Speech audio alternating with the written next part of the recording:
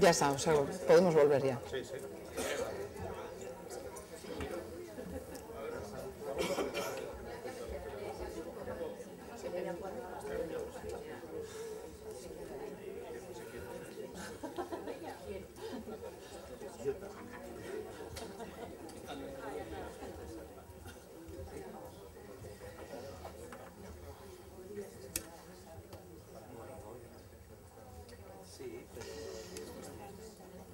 Vamos a retomar esta sesión de Gecho Blog, a ver si nos oyen los que están fuera y van entrando, porque vamos a ir ya con la primera de las mesas.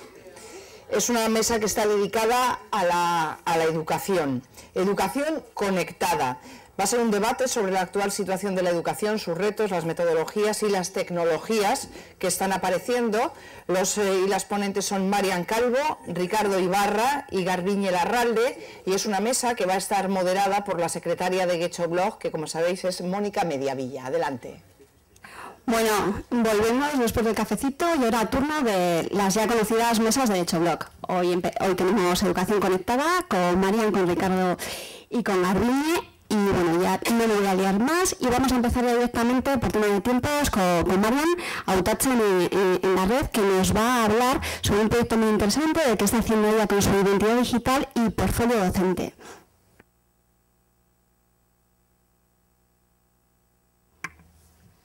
¿Se oye? Raramente. No puedo ir más para acá. ¿Se oye? Sí. Bueno, pues buenas, buenos días o buenas tardes, bueno, 12, buenas tardes ya. Eh, gracias por invitarme y bueno, me han invitado para que os presente mi, mi página web. Lo he titulado Identidad Digital y Portafolio eh, Docente. Antes de abriros mi página web, porque yo creo que lo mejor es que entréis y os paséis por ella, sí que me gustaría comentar eh, un poco mi trayectoria, ¿no? para saber o para explicar o justificar por qué tengo un blog o una página web. Yo empecé a trabajar en educación, eh, en, la enseñanza pública para el gobierno vasco en el año 92. Y hasta el curso 2008-2009 pues no, tuve ningún contacto con el mundo de Internet, de para empezar porque no existía, pero eh, la historia fue que eh, estando en la sala de profesores había un profesor que estaba en el ordenador haciendo algo y le pregunté qué es eso que estás haciendo y me dijo estoy haciendo un blog con mis alumnos. Y dije, ¿y eso qué es? Entonces me explicó que era, eh, me explicó, ¿se me oye? Eh, me explicó que era un blog, eh, me explicó lo que quería hacer con ese blog y, los alumnos y dije, ah, pues yo también quiero, me parece interesante. Le estuve dando varias vueltas y al final empecé a entrar a, internet, a, mirar recursos y demás y al final decidí ponerle el nombre de Autachen, que significa eligiendo, porque básicamente lo que quería hacer era recoger enlaces, eh, recursos, presentaciones, vídeos y demás que a mí me valían para el aula y tenerlos yo clasificados en un sitio concreto que era ese blog y usarlos en clase. Y así empecé. Eh, mientras eh, em empecé a trabajar con ello y a usarlo en clase, fue pasando el tiempo y he puesto esa imagen porque me ayuda un poco a explicar, soy la misma persona, pero desde ese curso hasta, hasta hoy ha habido como dos caminos paralelos que son los mismos. Eh, el de la izquierda, según vosotros creo que es, eh, yo me he ido formando desde, desde que empecé a trabajar eh, de manera analógica, por decirlo de alguna manera, en, pues en berrichegunes, en jornadas relacionadas con tecnología y educación, como las YEDI anuales, en Educafe Bilbao, en Saspialde, en las Google Suite Escunchan, y en, los planes de formación que hacemos en cada centro. En este caso he puesto a Rigorriaga porque es el centro en el que estoy trabajando este curso. Y al mismo tiempo, eh, eso me ha hecho conocer gente pues, bastante interesante, interesada en el mundo de las TICs y en el mundo de la educación local, es decir, de, de la zona. Vamos, zona vamos a identificar Vizcaya, igual un poco más Euskadi, pero hasta ahí. Y al mismo tiempo, en la otra patita que va andando por la arena, pues mientras buscaba recursos, eh, empecé a, estar cada vez más presente en las redes sociales. He puesto el logo de, Twitter porque es fundamentalmente el sitio en el que, en el que yo más me muevo. ¿no? Y ahí, eh, pues eh, contactando con gente de, ya de Euskadi de fuera de de Euskadi, viendo los proyectos que hacían, aprendiendo de ellos y formándome en plataformas online, los famosos MOOCs, eh, en el INTEF y en otras plataformas, pues he ido conociendo gente interesada en lo mismo, pero a nivel de Estado y, de fuera del Estado. ¿no? Cada, cada, vez iba teniendo más materiales, iba encontrando cosas interesantes que iba guardando en mi blog y también empecé ya a producir los míos, los míos propios que, que usaba en clase y que iba colocando también en, en, ese blog. Y llegó un momento que Blogger, que es donde eh, puse mi, primer blog, llegó un momento que ya no me no me hallaba, no sabía cómo clasificarlo, no me daba de sí, ¿no? Y decidí pues eh, migrar y eh, crear una página web, fue en enero del 2016 y es autachen.net. Le di muchísimas vueltas a cómo plantearla, cómo, a cómo organizarla y ahí tenéis la dirección, esa es la, página de inicio y básicamente lo que he querido eh, plasmar ahí es algo que me valga a mí fundamentalmente, en plan súper egoísta, algo que me sirva a mí en clase, que sea rápido para acceder a lo que yo quiero trabajar en ese momento con, mis alumnos y que al mismo tiempo sea algo eh, abierto y, público. Tanto eh, lo que yo escribo sobre lo que hago en clase, los materiales que hago o, que creo o que trabajo en clase, como los, los productos que los alumnos, eh, digamos, van haciendo a lo largo del curso. Eh, son 25 años eh, trabajando y son pues, muchas actividades, todo obviamente no está puesto porque entonces no dormiría y tampoco es eso. y están agrupados en cuatro grandes, bueno, en dos grandes bloques que a su vez se dividen en, en, dos. Por un lado está la parte de educación en valores, que tenéis, bueno, iba a señalar, pero no ve educación en valores y crecimiento personal, y el otro lado es el ámbito de la lengua y literatura, que es eh, de lo que doy clase eh, actual, eh, actualmente. En la barra de arriba, en la parte superior, pues tenéis lo que toda página web, digamos, con un poco de fundamento, necesita, que es que te presentes. luego viene el apartado de recursos, que son esos cuatro cuadraditos que tenéis abajo.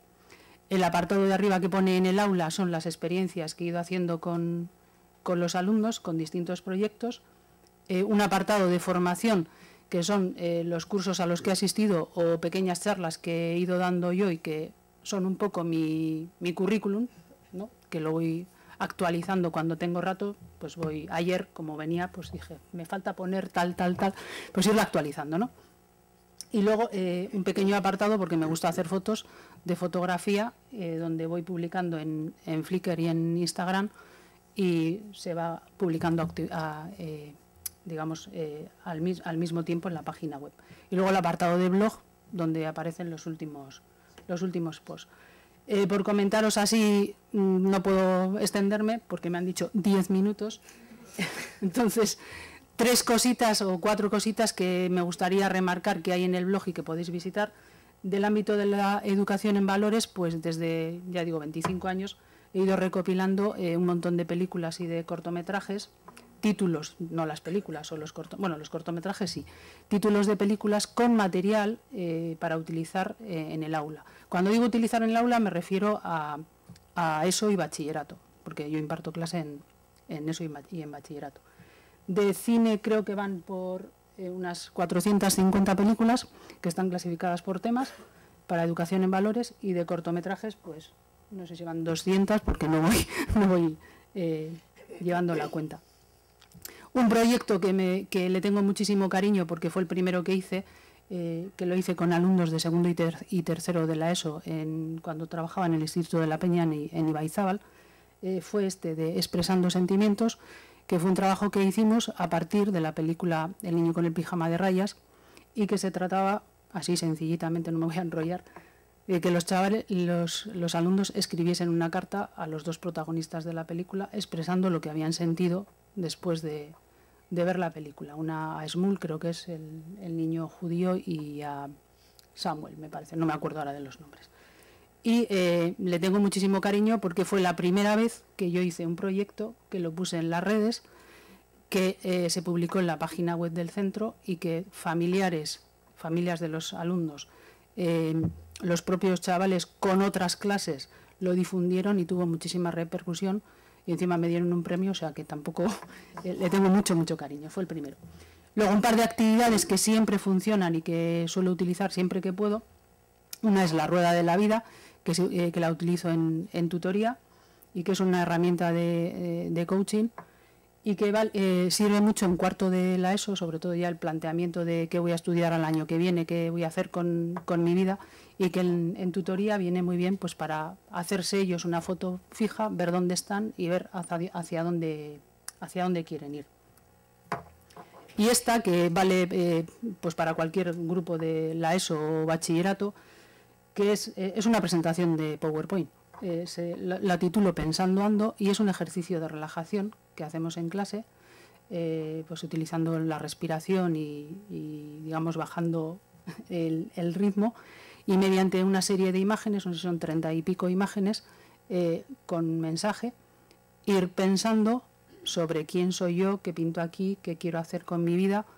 Al final de la presentación, siempre con música en silencio y casi a oscuras, al final de la presentación ellos en, una hoja escriben lo que han sentido o lo que han pensado o incluso algunos lo dibujan porque no quieren escribir y luego lo ponemos en común. Vale en primero, en segundo, en tercero, en cuarto, en cualquier, en cualquier nivel.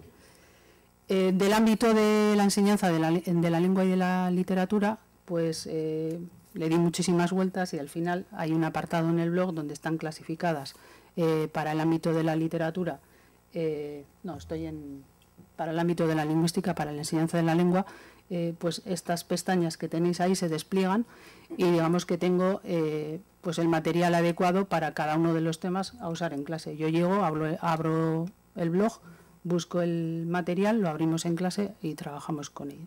Si no está todavía, pues lo estoy elaborando, lo subo para el día que tenemos clase y, ya está.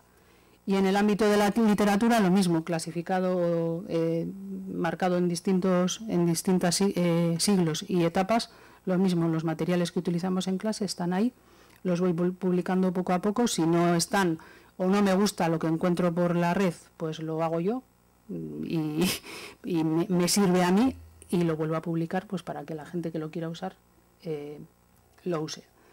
Con respecto a las experiencias que he realizado en el aula, pues las voy clasificando también en el blog. Ahí tenéis eh, en el ámbito de lengua y literatura un montón de proyectos utilizando el, trabajo cooperativo o el aprendizaje basado en, proyectos. Eh, pues proyectos para trabajar pues los textos argumentativos, la descripción, hacer una radio, eh, estimular la lectura en el, en el aula, eh, un trabajo sobre, sobre el CID, eh, trabajo sobre la publicidad. Como no hay más tiempo, me gustaría ver alguno, pero entráis, los veis y, ya está. Y bueno, yo soy una mega super fan de los blogs, quiero ser un, no sé quién ha dicho, un dinosaurio del... A mí no me importa, me, me, me parece una manera buena de estar presente en, en la red o en, las redes sociales o en internet. Y yo intento, eh, todos los cursos, no siempre lo, logro, pero en casi todos los cursos intento tener un blog de aula y que los chavales empiecen a publicar sus blogs con pequeños trabajos eh, y que aprendan eh, a escribir de una manera diferente, en una plataforma distinta, que aprendan cómo funciona un blog, que aprendan cómo funcionan las redes sociales, que no es lo que ellos suelen hacer y que ahí tenemos un trabajo muy importante que hacer eh, con ellos. Y yo creo que aparte de darles, digamos, la teoría, es muy importante la práctica. Y desde el ámbito de la lengua y de la literatura, pues es una plataforma estupenda pues para que ellos aprendan a escribir de otra manera en, estas plataformas y que se olviden un poco del famoso, bueno, pues el Instagram, eh, WhatsApp, hay que escribir de otra manera, ¿no? Acabo, acabo. Dos, dos ideas después de, desde el 2008 hasta hoy, no sé cuánto ha llovido, pero algo, ¿no? Eh, dos ideas de mi propia experiencia, que no es transportable a la de nadie, es la mía, eh, que saco de estar presente en las redes sociales y en, y, en, el mundo este de Internet. Una, que andar por la red eh, no es pisar el suelo, y eso lo argumento, si entráis en el blog, buscar el post y lo leéis, porque no me da tiempo a desarrollarlo. Creo que las redes son, eh, los profesores deberíamos o debiéramos estar presentes en las redes. Es bueno que tengamos un portafolio porque nos ayuda a pensar, porque nos ayuda a reflexionar, porque nos ayuda a compartir, pero también hay que pisar el suelo. Y el ámbito de trabajo es el aula, es nuestro centro, en el que estemos trabajando y que hay que ir, digamos, despacio. Eso es lo que yo siento ahora, no digo que sea lo que, lo que haya que hacer. Y la otra, si yo desde el 2008 entro en la red, busco, eh, utilizo, eh, descargo cosas de otras personas, pues creo que es un poco de justicia que yo devuelva también eh, una parte de lo que yo hago a los demás para que los demás también los, lo, lo utilicen. Ya. ha sido muy difícil, ¿eh?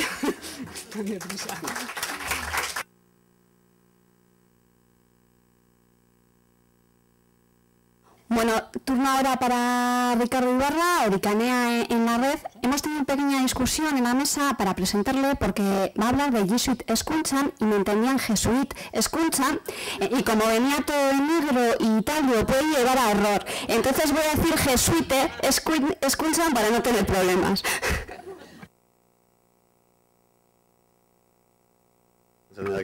Bueno, mi nombre es Ricardo Ibarra y yo llevo trabajando en la enseñanza pública, salvo pequeños paréntesis en los que he hecho pequeñas escapadas fuera del aula, eh, desde el mismo mes que Felipe González entró en la Moncloa, lo cual ya me empieza a dar derecho a que este es mi último año de trabajo y espero jubilarme pronto ya. Pero bueno, hoy he venido aquí a presentaros Jesuit Escunchan. En principio diréis que, a ver, ¿esto funciona así? No. Aquí, sí. ¿Qué es, qué es eh, eh, Google Suite pues es un colectivo de, profesorado de Euskadi que utilizamos y que apostamos por las herramientas de Google.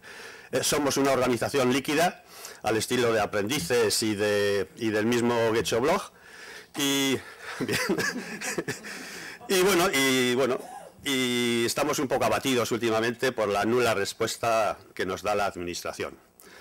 Eh, bueno, este es nuestro suite, nuestra nuestra página web en la cual estamos todos, todos fichados, eh, estamos listados, los que queremos participar voluntariamente, tanto a nivel de eh, personalmente como de centros.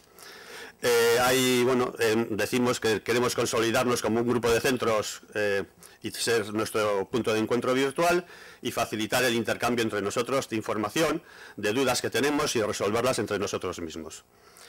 hemos hecho ya seis encuentros hasta ahora, empezamos en el 2012 en, en Sestao, en el 13 lo hicimos en este mismo espacio y luego hemos ido creciendo hasta, hemos pasado por Basauri, por Donostia, por Gasteiz y, año, y este mismo año lo hemos hecho en Bilbao. Al organizar el, de Bilbao nos pusimos eh, ya dos retos importantes. Uno era eh, enlazar como grupo de profesores con la Universidad del País Vasco y la otra era el, enlazar también con Google Educación a nivel internacional. Los dos retos los conseguimos y, prueba de ello es que la sede en la que hicimos el encuentro pues fue la sede principal de, la Universidad del País Vasco en Bilbao. Lo hicimos allí. Colaboraron todos estudiantes de magisterio en el encuentro. Eh, estuvimos profesorado de primaria, de la ESO, de la FP, de la universidad, Hubo alumnado también que presentó sus actividades y también estuvo la administración. Eh, Google, eh, eh, Google, for Education estuvo, tuvimos representantes tanto de, a nivel del Estado como a nivel del sur de Europa.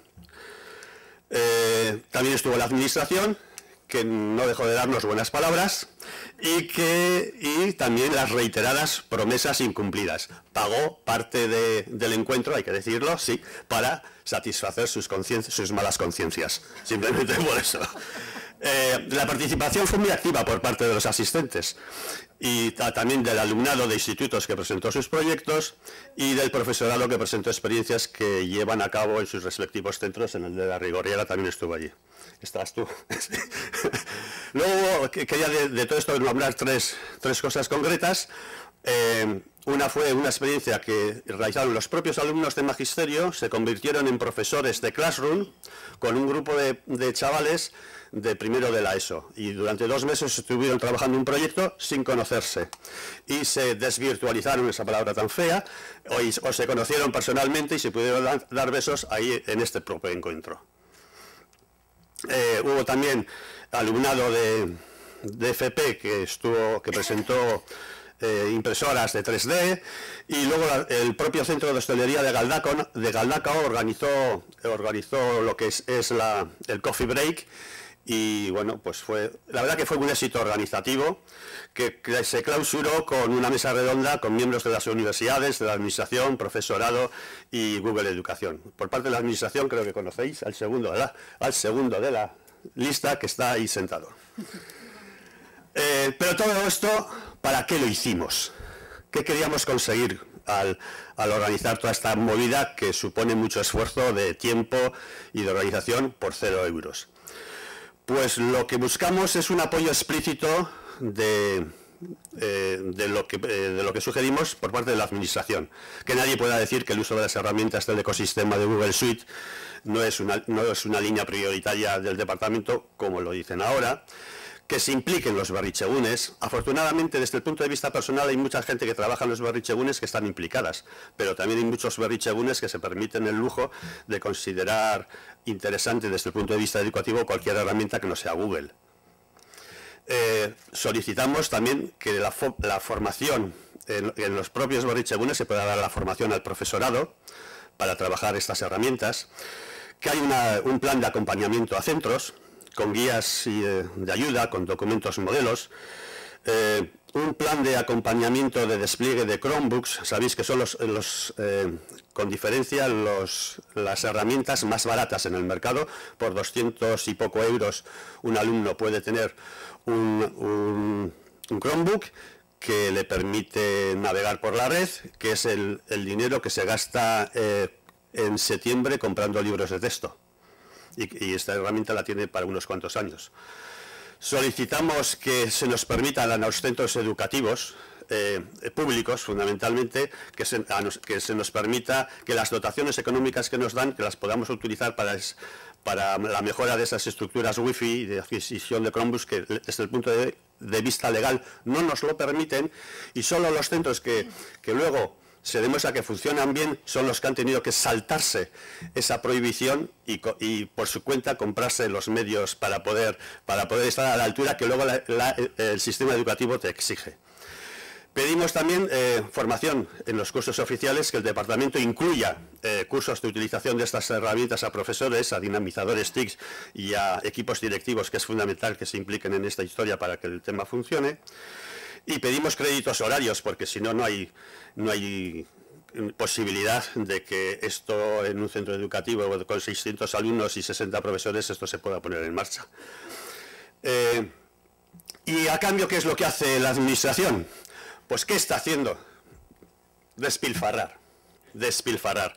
Y fíjate, voy a decir, voy a decir una cosa, yo le invitaría al señor Urcullo y compañía a que no gaste más dinero de lo que ya gasta en educación por una temporada. Que no gaste más, simplemente que lo emplee mejor. Y un ejemplo, en estos momentos el gobierno vasco está pagando, pero muchos, con muchas sus, ¿eh? muchas, muchos miles y miles de euros en licencias de programas que no se usan. Y a cambio, este sistema Google Suite que es gratuito para todos los centros educativos, no hacen más que tirarnos piedras. Esa es la, cruda y sencilla realidad. Eh, bueno, también le pediría que deje de hacer de perro del hortelano. El perro del hortelano ya sabéis lo que hace, ni una cosa ni otra. No nos pone wifi, eso sí, cada X meses aparece en el correo y en el de ella diciendo que van a hacer un despliegue acoginante, pero luego al final esas palabras, esas promesas, llevamos años oyéndolas y no, y, año tras año es la misma realidad. Entonces, si no lo van a hacer, por lo que sea, que nos dejen hacerlo a los que queremos hacerlo por nuestra parte, mayor autonomía los de autonomía de centros. Y luego pues, también, bueno, que están dando palos de ciego, llevan años y años y años dando palos de ciego, que lo único que hacen es que periódicamente te presentan un portal educativo que dicen que es súper mega guay, ahora están descubriendo que existe el correo electrónico para intercambio de información entre profesores y padres, que es lo que están presentando ahora, y claro, pues chicos, con, con esa filosofía, pocas posibilidades o poco, no sé, no podemos esperar gran cosa de ellos en estos momentos. Eh, por otra parte, una pregunta así lanzada al aire. ¿Se puede renovar? O sea, nosotros, por ejemplo, en mi instituto tenemos el máximo nivel avanzado de madurez TIC, eh, reconocido por ellos, por la administración. Vale, pero luego, cada año nos, eh, el 30% de profesorado nuevo, por lo menos. Y, y se permiten el lujo de poder demandar personal, no solo desconocedor de las herramientas que trabajamos ya en el centro y que como plan de centro las tenemos asumidas, es que pueden ser alérgicos a los ordenadores, ese tipo de profesorado que te llega al centro y tienes que, y tienes que meterle en el pelotón ciclista. En fin, eh, sinceramente no es fácil ser optimista, pero tal como dijimos también en la, en la, en la presentación del encuentro, eh, Esinia Eguiñez Eguina, Audá, traducido un poco en forma un poco más larga, lo que en principio parece imposible se logra empezando a trabajar por hacerlo realidad sin desánimos, sin desmayos, sin darse por vencido. Si trabajas convencido en la bondad de tu objetivo, por mucho que una administración, aunque sea vasca y muy vasca, se empeñe en ignorarte o incluso en despreciarte, eso que parece imposible terminará haciéndose realidad. Ahora bien, si, como tengo los pies en el suelo, sé que ya estaré jubilado para entonces. En fin, es casco por haberme aguantado este speech.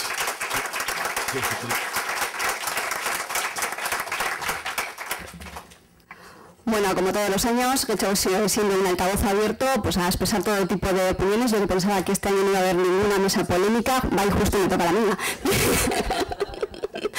Pero bueno, y ahora le toca el turno a Gabriel Larralde, que me ha dicho simplemente que diga que ella va a hablar de su blog. O sea que Gabriel, por favor, hablamos de tu blog. Pues, sí, sí, bueno es que yo a la de los dos grandes pues tampoco tengo mucho que decir, ¿no? Pero bueno, este, bueno, sí, soy Garbiñe Larralde, tengo por aquí una pequeña presentación, un Draw My Life, no sé si conocéis, eh, que voy a presentaros eh, antes de, de nada. Eh, era este, ¿no? Así, ah, aquí.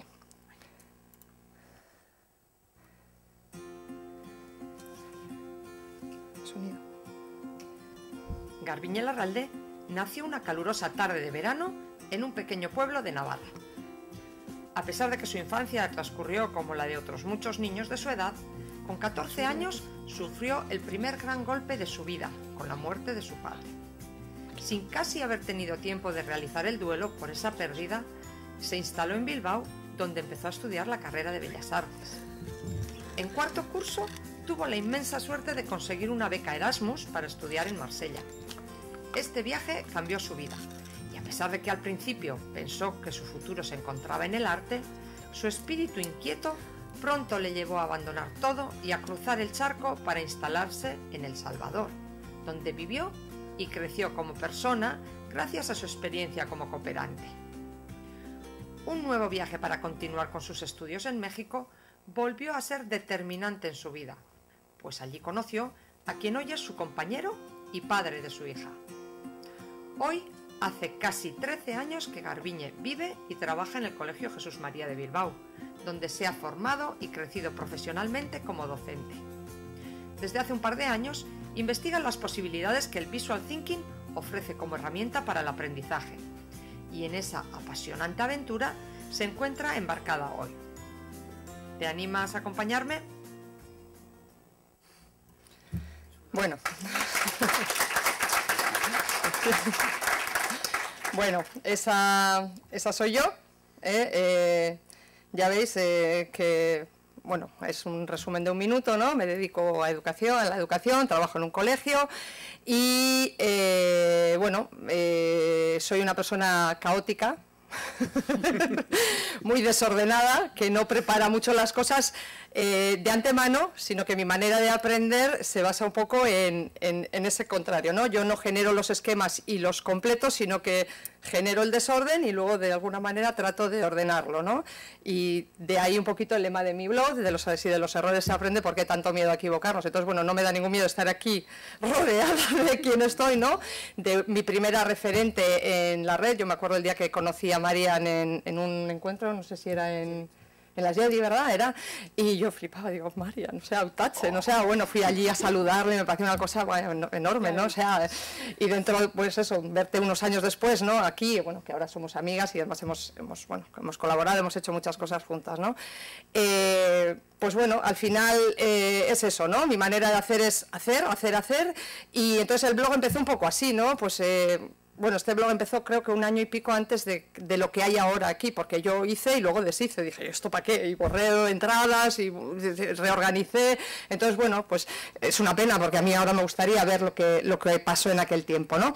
Pero bueno, al final este es mi, es mi, mi portafolio, o sea, aquí es donde yo voy guardando un poco todo lo que, lo que voy haciendo.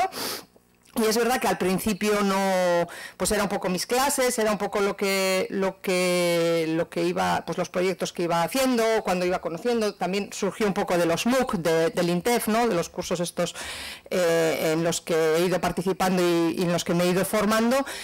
Y desde hace un par de años pues eh, descubrí lo que es el, visual thinking, que es un poco mi mundo y es el que, el que me ha abierto un poco más las puertas. He conocido a mucha más gente en, en este mundo eh, y entonces ahora hago cosas pues, pues como esta, ¿no? que hecho, eh, creo que el día de hoy además eh, merece la pena ¿no? reivindicarlo, ¿no? Eh, pues una, propuesta educativa de, trabajo ¿no? en, el aula, conjugando los superpoderes de, las, de las chicas ¿no? con, las, con las que trabajamos y por medio del dibujo. ¿no? Yo planteo reflexiones, planteo trabajo, aprendizaje, el, trabajo, el planteo el aprendizaje a partir del dibujo. ¿no? El visual thinking es un poco eso. Eh, bueno, tengo, participo en, muchas jornadas y en muchos sitios, entonces bueno, pues eh, el fin de semana pasado estuve en una jornada en Antequera y bueno, pues me traigo de allí pues todas estas cosillas ¿no? que, voy, que voy haciendo. Eh, y voy, voy subiéndolas al, al, blog. Al mismo tiempo, pues participo en, en, un montón de, salsas, como hablamos con que no hay, eh, pues soy de Dibujamelas. Dibujamelas es un proyecto que lanzamos hace año y medio eh, un profesor de, Extremadura, al que conocí por las redes y desvirtualicé bastante tiempo después, ¿no? Entonces con él... Eh, planteamos un proyecto colaborativo y bueno, Dibujamelas a día de hoy es un proyecto bueno, reconocido con, varios premios y en el, al que se han incorporado, pues mm, puedo decir que por lo menos más de mil profesores eh, de, todo, de todo el estado y algunos del otro lado del charco también. He formado parte de Educación Bilbao junto con Marian, eh, también he estado en, en Saspialde con Miquel, eh, soy parte de Aula Blog, entonces ya veis que al final voy picando un poquito porque bueno, creo que en algunos momentos habéis comentado aquí, ¿no? que lo de compartir eh, es, lo fundamental y sobre todo en nuestra, en nuestra profesión, ¿no? que, lo que lo que tenemos que hacer es formar pues, eh, ciudadanos que propongan ¿no? a, la, sociedad pues, cambios y que, vayan mejorando ¿no? la sociedad. Eh, bueno, está todo recogido aquí, sé que no tengo mucho tiempo, no sé si seguramente se me quedan muchas cosas, ¿eh? como ya veis que soy un poco desordenada, pues eh, hay, muchas cosas por aquí que, que, bueno, pero podríais, podríais verlas y y creo que un poco es esto lo que yo quería decir. Ah, bueno, sí, lo último, sí, que como veréis, eh, no soy profesional de, este mundo y todavía sigo teniendo mi blogspot.com. ¿eh? no me he comprado ningún dominio porque, bueno, eh, en algunos momentos he estado ahí pensando que sí, que no, pero pues es que mm, a veces escribo, otras veces no, paso grandes temporadas en las que no, entonces digo, profesionalizarme en esto me resulta como, no, mi profesión está en el aula y creo que es una herramienta que me viene bien y pues todavía no dado el salto, ¿eh? eso no quiere decir que bueno, mañana me dé la aire volada y, lo haga. ¿eh? Entonces, bueno, pues esta, esta soy yo y este es mi humilde blog, enredar y aprender en la red.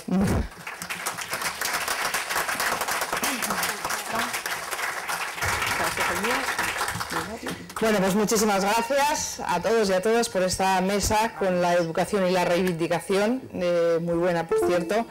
Eh, vamos a pasar a la siguiente. Eh, la siguiente mesa va de blogging y deporte. Eh, sobre todo vamos a hablar de la apuesta que ha hecho el Ayuntamiento de Guecho por la industria del, deporte y el bienestar dentro de su estrategia de promoción económica, de la estrategia Guecho 2020.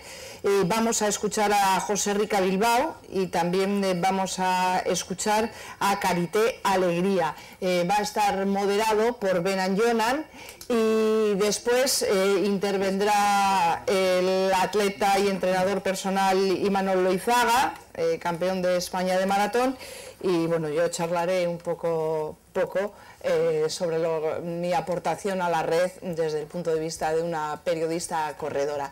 Empezamos con Benan Jonan y todo lo que nos van a contar desde el Ayuntamiento de Guecho. Gracias. Directamente. Opa, eh, bueno, Bueno, eh... sí, ahora sí. Vale. Eh, bueno, yo me preguntaba en un encuentro de bloggers qué pintábamos nosotros, ¿no? Y pues bueno, después de estar escuchando eh, toda la mañana, pues eh, me venían a la cabeza muchas, muchas cosas que se han dicho, ¿no? Es decir, nosotros qué queríamos hacer, pues queríamos compartir. de una manera también informal, no tan formal, porque Mónica me decía, eh, esto es muy informal, no sé si pensaba que veníamos con chaqueta corbata y como muy eh, con el secretario así aquí, y queríamos contar eh, lo que estamos haciendo, ¿no? porque bueno, también queremos compartir, queremos que comunicar que bueno, también es una de nuestras faltas, ¿no? nuestros pequeños desastres comunicativos que tenemos para llegar a la, ciudadanía de qué estamos haciendo y cómo lo estamos haciendo y cómo lo queremos hacer. Eh, y luego también eh, crear juntos. ¿vale? Entonces, eh, no os voy a soltar el rollo de qué es Gecho, pero tenemos es un poco para encuadrarlo. Tenemos recursos, tenemos personas, tenemos empresas. Nosotros nos dirigimos desde promoción económica básicamente a las micropymes, porque el 80%, 85% de las empresas del municipio son de una o dos personas, con lo cual nuestro foco principal es ese, ¿eh? trabajar con los pequeños, con lo cual compartir, ayudar a compartir eh, nos parece fundamental y nuestro papel como facilitadores. Nos hicieron un encargo desde el equipo de gobierno porque querían que Gecho, eh, y queremos que Gecho, además de ser un lugar muy bonito para vivir, sea un lugar para trabajar. Entonces nos pusieron este reto encima de la mesa y voy a intentar ir rápido y entonces eh, Promoción Económica ofrece servicios básicos para todas las microempresas y personas emprendedoras. Teníamos claro que teníamos que ser facilitadores, pero teníamos que especializarnos. Y, la pregunta en qué, ¿no? En qué podíamos eh, ser eh, de una manera especial o favorecer de una manera especial. Entonces, eh, os voy a poner un, pequeño vídeo que resume, resume mucho mejor que lo que puedo hacerlo yo. Esta, esta estrategia de especialización eh, en la que después de un análisis eh, de, mucho tiempo y con muchas personas compartido, pues hemos llegado a una pequeña conclusión. Dibujando el guicho de 2020. Tenemos un reto. Queremos potenciar la generación de la actividad económica y el empleo. Queremos hacerlo con la energía de las personas y el uso de los recursos de los que disponemos. Gecho quiere contribuir al desarrollo y transformación de Euskadi. Tenemos un plan. En 2013 nos preguntábamos en qué dirección avanzar, cuál era el rumbo en el que queríamos navegar. Y nos pusimos en marcha abrimos un proceso de reflexión estratégica, en el que se analizó toda la información disponible, interna y externa, en el que participaron más de 60 personas, en el que miramos experiencias más cercanas y más lejanas, en el que se han tenido en cuenta palancas y frenos para la competitividad, para contrastar las distintas ideas. Un proceso que ha culminado con una visión y un plan que prioriza los siguientes ámbitos estratégicos. Tecnologías e industrias del deporte y bienestar. Turismo cultural y de bienestar. Industrias creativas y culturales. Contando con el comercio y hostelería, las empresas de servicios profesionales avanzados y las de tecnologías de la información y la comunicación. Y cuyo desarrollo se sustentará en los siguientes pilares. En una apuesta por el emprendizaje y la innovación social, en potenciar la pertenencia y participación y en promover la sostenibilidad social, económica y ambiental. ¿Estamos en marcha? Porque creemos que hacer y pensar se producen al mismo tiempo y son parte del mismo proceso. Tenemos ejemplos interesantes que ya son realidad en nuestro municipio. Proyectos de colaboración y dinamización comercial como Gecho Activatú, servicios y espacios físicos para empresas y emprendedores como el Gecho El Carteguiá, eventos culturales, deportivos y turísticos, y la promoción de ideas de jóvenes y de nuevas personas emprendedoras. Tenemos proyectos con futuro. Contamos con muchos proyectos en cartera, porque este plan estratégico es un plan vivo que seguirá nutriéndose de ideas y aportaciones de todos los agentes. Nos imaginamos a Gecho como un laboratorio en el que experimentar, un Gecho Lab, y también como un vivero en el que nacen nuevas ideas y empresas, un mercado en el que se intercambian experiencias, conocimientos y productos y servicios, y un molino generador de movimiento y energía. Tenemos proyectos que ya están empezando a andar. Un polo de innovación, vivero de empresas, programas de emprendizaje innovador, nuevos espacios que pueden generar riqueza como Gecho Anchoqui y Punta Begoña y participaremos en proyectos europeos para aprender. Proyectos que tenemos que construir juntos a través de la cooperación y colaboración entre personas, empresas, emprendedores, otras instituciones públicas y muchas áreas del propio ayuntamiento. Quecholán quiere ser puente de conexión y de hibridación de agentes, de ideas y de proyectos. ¿Y a ti? ¿Cómo te gustaría participar? ¿Qué vas a hacer? ¿Qué más quieres pintar? Guecholán tiene sus puertas abiertas. Queremos escuchar tus ideas. Necesitamos tu energía y tu capacidad de generar valor y empleo. Bueno, pues eh, resume un poco lo que... Voy a intentar a ver si lo... Esto es, ¿Cómo lo sacamos aquí?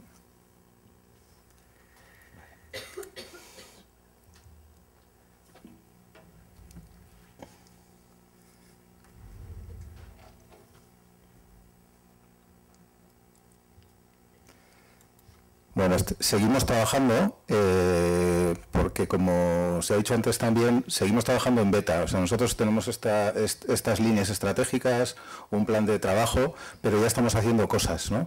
Y una de, de las ideas de estar aquí, como estaba relacionado con el mundo del deporte, eh, nosotros estamos trabajando de la mano con Gecho Kirolak, que tengo aquí a mi derecha a Carite, que que estamos trabajando juntos eh, distintas áreas municipales para llevar adelante esto. No es una locura o una cosa extraña de un departamento que se le ocurre hacer no sé qué sin contar con el resto de gente, sino que estamos trabajando con, con otros departamentos municipales, al mismo tiempo estamos contrastando con, con vosotros y vosotras proyectos que ya estamos poniendo en marcha, de forma que vamos nutriéndonos y aprendiendo continuamente. Y también estamos eh, cada vez eh, más en las redes sociales desde hace un año, y por ahí está Idoya, mi compañera, y Ainhoa, metiendo y compartiendo los conocimientos que vamos aprendiendo y, queremos compartir.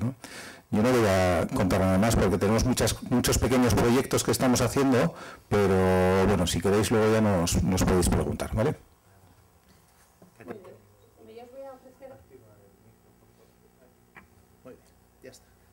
Egunon, ¿qué tal? Os voy a ofrecer brevemente unas pinceladas de cómo estamos intentando aterrizar esta, idea, esta gran estrategia o, este objetivo evolutivo ¿no? que se dice últimamente. Esta idea, esta idea que es una nebulosa y no tenemos muy claro cómo se va a concretar, porque la tenemos que concretar en colaboración. Voy a ponerme la breve presentación. Bueno, sobre todo yo decir que venía hoy con mucho respeto, porque yo soy muy poco tecnológica y había oído hablar de Blog y me parecía que esto iba a ser algo muy tecnológico y he estado escuchando historias de personas, se ha estado hablando de alma, entonces eh, estoy mucho más cómoda porque lo que os vamos a contar es un proyecto hecho por personas, que a veces hablamos de las instituciones como si no hubiera personas detrás, pero gracias a Dios hay personas. Así que, bueno, yo usaré los botones no, no me pases. Bueno, eh, el vídeo lo que pretende contar o lo que ha retransmitido José es, eh, dentro de esta estrategia, principalmente el reto de tecnologías e industrias del deporte y bienestar. Son palabras que cuesta imaginar, tecnologías, industrias del deporte y el bienestar. Pero realmente lo que estamos hablando es de compartir. Es de compartir un futuro en torno a, este sector, que es un sector de personas, para personas, con lo cual el el icono de un blog hecho por una persona, ¿no? Hoy he visto los que escribís detrás de los blogs, hecho de personas para personas, con ese espíritu, pues es muy inspirador. El concepto de colaborar en todo este proyecto es, transversal. Y la tecnología que vamos a pretender poner al servicio del proyecto tiene que ser para las personas. Nos daba mucho respeto hablar de tecnología. Eh, porque es verdad que hay imágenes muy bonitas y sueños muy grandes, pero no todo es bueno y positivo, ya lo sabemos. ¿ah? Hemos, hemos, hemos hecho canas en este, en este recorrido, pero tampoco nos podemos negar al futuro. Entonces lo que queremos hacer es aprender de vosotras, porque me parece que en esta sala hay un, hay un conocimiento increíble, para ayudarnos a hacer este, este, este tránsito hacia la inclusión, hacia la tecnología, la educación. Vale. Bueno, pues hablábamos de tecnología digital y de tecnología social. ¿eh? Y aquí también todo el concepto de tecnología social me parece que el blog lo, resume mucho. ¿eh? Como desde lo digital se puede, se puede influir en las personas. Vale, y un breve resumen de, por, qué, por qué Fadura en este proyecto, porque evidentemente está Gecho Quirola, que es un organismo que gestiona el deporte en la localidad, tres polideportivos, actividad física en la calle, etcétera, nuevos proyectos con emprendedores y profesionales. Pero resulta que Fadura, bueno, que lo conocéis, está ubicado en el mapa en esa cosita roja, dentro de lo que es Guecho, eh, pues nos dieron la mala noticia en un principio, en la segunda foto se ve atravesada por el río, gracias José, atravesada por el río Govela, que venía URA, eh, la Agencia Vasca del Agua, a atravesar la instalación deportiva hacer lo que venía haciendo por todo Guecho, que era poner el río muy bonito, pero a nosotros nos abría las instalaciones. Y nos pareció una, una, idea horrible al principio, lo tengo que reconocer. Y estuvimos un año trabajando en un concepto de cómo íbamos a cerrar aquello que las excavadoras iban a abrir.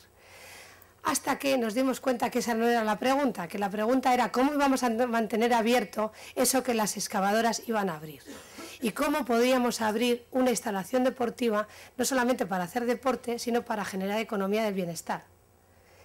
Y esto nos dio la vuelta, con lo cual cuando ellos nos eh, empezamos a trabajar en ese informe, yo le llamo muy sesudo porque tardó tres años, y dijeron que iban a apostar por el deporte, pues eh, yo me acuerdo de una conversación que les dije, es que no podíais haber, haberlo no hecho, porque el deporte es la vida, ¿no? Entonces estamos hablando del deporte en un concepto más amplio de bienestar.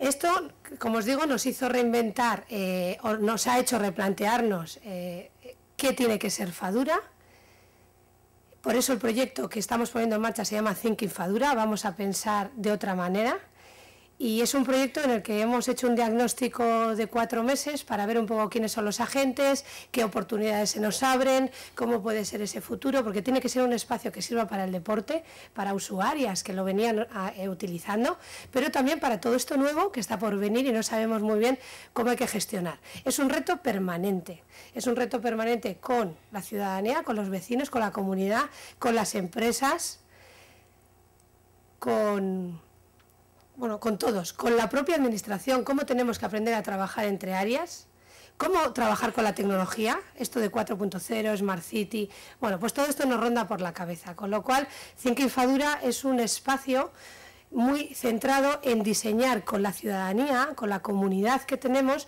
cómo tiene que ser este espacio. Pero alrededor del proyecto Think Fadura nos están surgiendo otros de enorme potencial que además de tener impacto en salud, sí que pueden empezar a tener impacto en esto que venimos llamando la economía del bienestar, que es Gracias, José, no sé a qué botón le tengo que dar. De repente están surgiendo proyectos en colaboración con Promoción Económica, Gecho Cocrea, que tenemos aquí empresas y personas que estáis participando, como Gecho Cocrea, una comunidad, un territorio saludable, un hub de alimentación saludable que no se va a llamar hub, que me han reñido ya, no se va a llamar hub, pero como no tiene nombre, es para que algo donde va a haber, donde van a pasar cosas en torno con la alimentación, aceleradora de proyectos. Emakumekin está desarrollando el, el Wellness Hub, han hecho Wellness Hub, para hablar de empresas saludables. Fadura Lab, Fadura ofrecido como territorio para pilotar proyectos. Bueno, Gecho Taldeca, en colaboración con Dema para Emprendedores. Empiezan a surgir cosas que, que no sabemos muy bien cómo ubicarlas y es lo que estamos llamando últimamente este polo de innovación. ¿eh? Eh, lo que sí que tenemos claro es que en Gecho tenemos un ecosistema increíble y también empezamos a ver Gecho con vista de pájaro. Gecho, la comarca, ¿eh? Euskadi es muy pequeño y, tenemos una identidad muy compartida y sabemos hacer cosas muy buenas en colaboración. Entonces, permitirme que hable de Gecho porque es la institución que lo promueve, pero evidentemente con el enfoque abierto queremos articular esas 800 empresas que ya ha detectado promoción económica dentro del CNAE, que es un poco horrible, como industrias del deporte, pero que hay otras muchas más, de servicios avanzados, de tecnología, de educación, que por supuesto tienen que ver con el deporte. ¿Cómo podemos articular este ecosistema? ¿Cómo fomentar una cultura de la innovación? Estáis hablando gente de la educación y estáis siendo muy críticos y yo me sumo a la crítica eh, discutiremos si es el foro o no el foro, pero me sumo a la crítica porque creemos que tenemos que inventar el mundo que viene y, tenemos que cambiar la manera de hacer. Y en este proyecto también, ¿cómo podemos trabajar? Hay 13 centros, dos FPs, tenemos cerca de tres universidades y, una ciudadanía que cada vez estamos más activas en el aprendizaje permanente. ¿Cómo articular esto?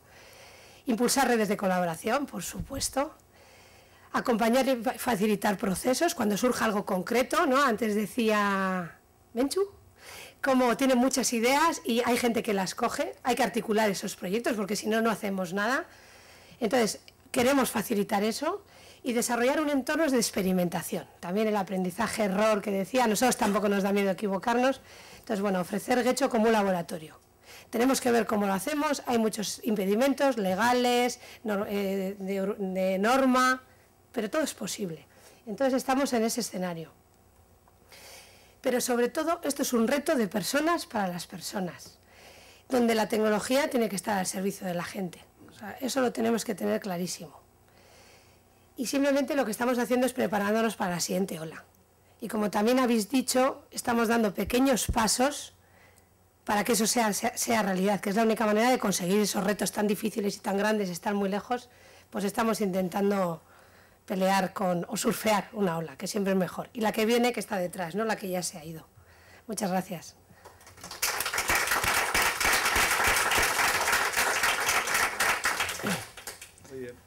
Bueno, pues muchísimas gracias eh, por vuestra intervención. Ahora va a subir Imanol Loizaga, entrenador personal y con unos proyectos eh, muy importantes unidos a la tecnología y a los blogs. Y bueno, yo le voy a acompañar pues para hablar de, blogs también y de cómo afrontamos el deporte ¿no? a través de, los blogs. Así que nada, cambio de sitio. Y, ¿Tú el micrófono No, me apago, me apago este.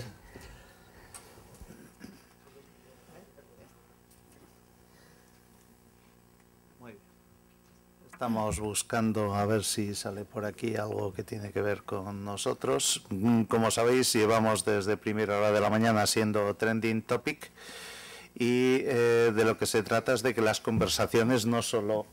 Así mejor, ¿no? No solo se... Bueno, mejor en este. No solo se realizan en, en las páginas web, también están en Twitter, las personas están en Twitter.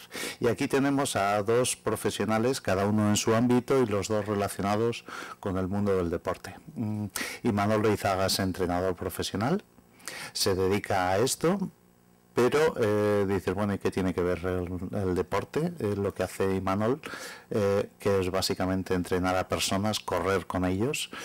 Eh, empoderarles físicamente, convencerles y eso que tiene que ver con las redes. Bueno, pues que las personas estamos en las redes y, y Manol, como es consciente de eso, hace un uso de las redes a su favor dentro de su profesión.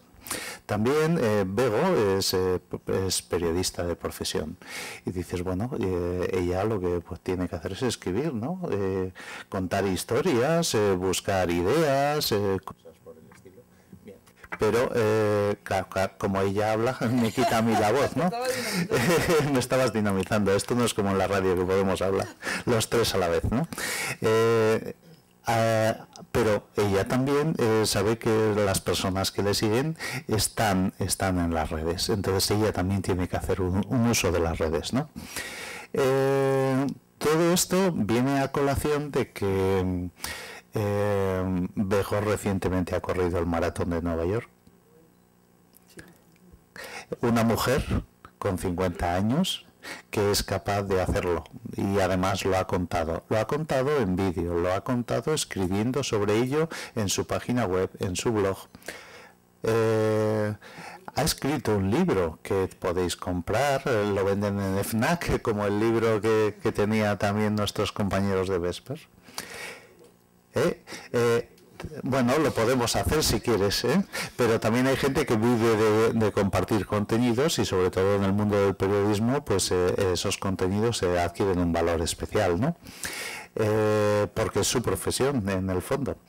Y por lo tanto, tenemos a, dos, dos, personas que tienen relación sí o sí con Gecho y con el mundo del deporte. De hecho, bueno, ellos os lo pueden contar. ¿Y yo qué tengo que ver con esto? Bueno, pues que yo, aunque no soy de Guecho, soy de alrededores de Guecho, ya sabéis hasta dónde llegan los alrededores de Guecho, hasta Euskadi, por ejemplo, y más allá, ¿no? Pero eh, sí tenemos que ver con la tecnología. Y da la casualidad de que en estos momentos pues eh, yo estoy colaborando con Bego y con Imanol en su programa de radio, eh, hacemos experiencias y sudo todos los días, por lo menos tres horas a la semana, en los entrenamientos con Imanol y eso me está permitiendo tener unos objetivos que vamos cumpliendo, al igual que, que veo está haciendo realidad sus progresos, pero en lugar de seguir hablando, a mí lo que me gustaría es que ellos os contaran eh, esta faceta de eh, el blog para ellos, qué es lo que significa como profesionales en un ámbito que no tiene nada que ver con la tecnología, aunque también tiene tecnología, por supuesto. Venga, empezamos con Imanuel, por ejemplo. Eh, Voy a coger mi teléfono para controlar el tiempo, que si no Esto no, se, esto, esto, no se mueve, ¿no? No se mueve. No, no, está fijo ahí. Vale, es igual. Bueno, es aquí se me ve bien. Eh, bueno, para mí ha sido un poquito encerrona hace unos minutos al ver que lo que me habían dicho de una mesa redonda era, y Manuel, ven aquí y cuenta tu, suelta tu rollo, ¿no? Entonces, bueno, pues eh, ni soy una persona de palabra fácil, ¿eh? yo estaría más a gusto contando todo esto, pues por ahí corriendo todos. Ahí sí que, aparte de que hablo con mucha más facilidad, eh, hago que los demás no tengan ya ninguna capacidad de hablar y lo dejo todo para mí. Eh, bueno, como decía Ben, yo creo que en todas las profesiones a día de hoy es imprescindible el, bueno, pues, eh, tener, no sé, no sé si tener su página web o su blog, pero estar presente en, Internet, en las redes eh, sociales, etcétera. Entonces yo hago un uso un poquito de, de manual, ¿no? Tengo mi página web, alimento mi blog y, luego lo comparto por las, por las redes sociales que cada vez pues eh, un poco por, eh, por obligación pues cada vez estoy más, más presente. Entonces, eh, bueno, tengo colaboraciones con, con, webs especializadas, una de ellas que aparece ahí, Runea, que es la, la, web de habla hispana que a día de hoy más importante en el mundo del, del running, incluso con una presencia muy fuerte de suscriptores en, en YouTube. Eso me ha dado desde el principio una... Eh, me ha hecho eh, que se me conozca dentro de este mundo, porque ahora aquí imagino que el 90% de la gente nunca habrá oído hablar de mí, pero claro, dentro del mundo del, running, pues ya mm, ha hecho ese, ese, mm, ha empezado a hacer que se me conozca. Entonces, de eso ya casi por obligación eh, trabajé mi marca, mi marca personal, ¿no? que es Imanol Izaga. Y, bueno, pues ya desde hace casi dos años me dedico en exclusiva a este mundo, entrenando tanto presencial como a distancia eh, a gente, que es lo que tenía a día de hoy. Tengo un cliente de Uruguay, tengo un cliente de, de Melilla, tengo de Madrid, de Cataluña, pero eh, a pesar de que mm, de que Internet, eh, pues eso, eh, tengamos la misma comunicación en ese sentido con una persona que está a 8.000 kilómetros que con una persona que está a 20 kilómetros de aquí, pues sí que es verdad que el 80% de la gente con la que trabajo es de aquí. O sea, es curioso que a pesar de que la comunicación es única y exclusivamente eh, vía vía internet o vía correo electrónico, etcétera, etcétera, la gente aún así tiende más a, algo cercano, no sé si es que le da más confianza o... Hemos descubierto que podemos hacer diálogo, tenemos los tres micrófonos. Bueno, pues a ver si es un diálogo ya... Eh, sí, sí, no, no, no, bastante más difícil hablar. Ah, pero tienes que porque el micrófono sí, me gustaría que sea... está encendido. Interviene, Un debate. Déjale, déjale. Bueno, eh, nada, eh, sin más, entonces, como decía, pues al final mi, mi, página web y blog es una herramienta más de, de trabajo, de, de promoción. Yo en, en la parte de blog de la página web eh, últimamente intento mantenerlo eh, más al día. Más al día para mí es un, una entrada a la semana y con eso ya subo. Y, bueno, pues eh, compartirlo por redes sociales, pero sobre todo contenidos que mm, para el público que yo voy buscando o que al revés, que, que, me busca a mí. Entonces esa persona como Venan, como Bego, como vosotros, que tenemos nuestro trabajo, nuestro día a día y que en este caso el mundo del running pues es una es un hobby y, y, y ven en mí pues una, uno, uno más como, como ellos. Y bueno, ahí aparecía un, un pantallazo de, de, Instagram porque, bueno, pues una de las de lo que me ha venido bien para hoy, que yo ya digo que muy mal, es que anteayer eh, arrancamos con un proyecto que yo creo que este es un, foro perfecto para, para, para comentároslo. Entonces se trata de una, de una iniciativa eh, en la que vamos a lanzar un reto abierto, vamos a lanzar, no, vamos a un reto abierto eh, a todo el mundo, por supuesto, pues un poquito más centrado a la gente de derecho, pero gente de todos lados, para que nos eh, ayude, vamos a crear una comunidad para que la gente nos diga eh, a través de, fotos o comentarios en las redes sociales por qué sitios, zonas o rincones de derecho quieren que eh, diseñemos y señalicemos recorridos saludables. ¿Eh? Eso que se comentaba antes de, de, deporte, salud, cooperación, pues es un proyecto de este tipo. ¿eh? Es un proyecto en el que, bueno, aunque yo soy el centro de ello, eh, tengo la colaboración de, de Gecho Quirolac y Gecho Turismo para que intentar darle difusión, llegar a todo el mundo y conseguir que la gente que va a ser el, van a ser los destinatarios, van a ser los usuarios de esos recorridos de todo tipo, para correr, para andar, para andar en bicicleta, eh, sean ellos mismos los que digan eh, por dónde quieren que vayan y cómo tienen que ser. Entonces, eh, eso es lo que empezamos, hemos empezado a trabajar desde, desde anteayer ya abiertamente.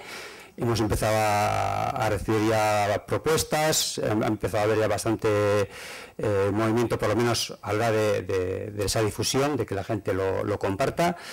Y ese es un proyecto que bueno, quería aprovechar para que no sé eh, cuántos y cuántas de aquí sois deportistas o no, pero todos, todos, todos, todos. ¿eh? no, es un, no es un proyecto eh, para deportistas, sino para todos y todas ¿eh? porque se trata de recorridos saludables.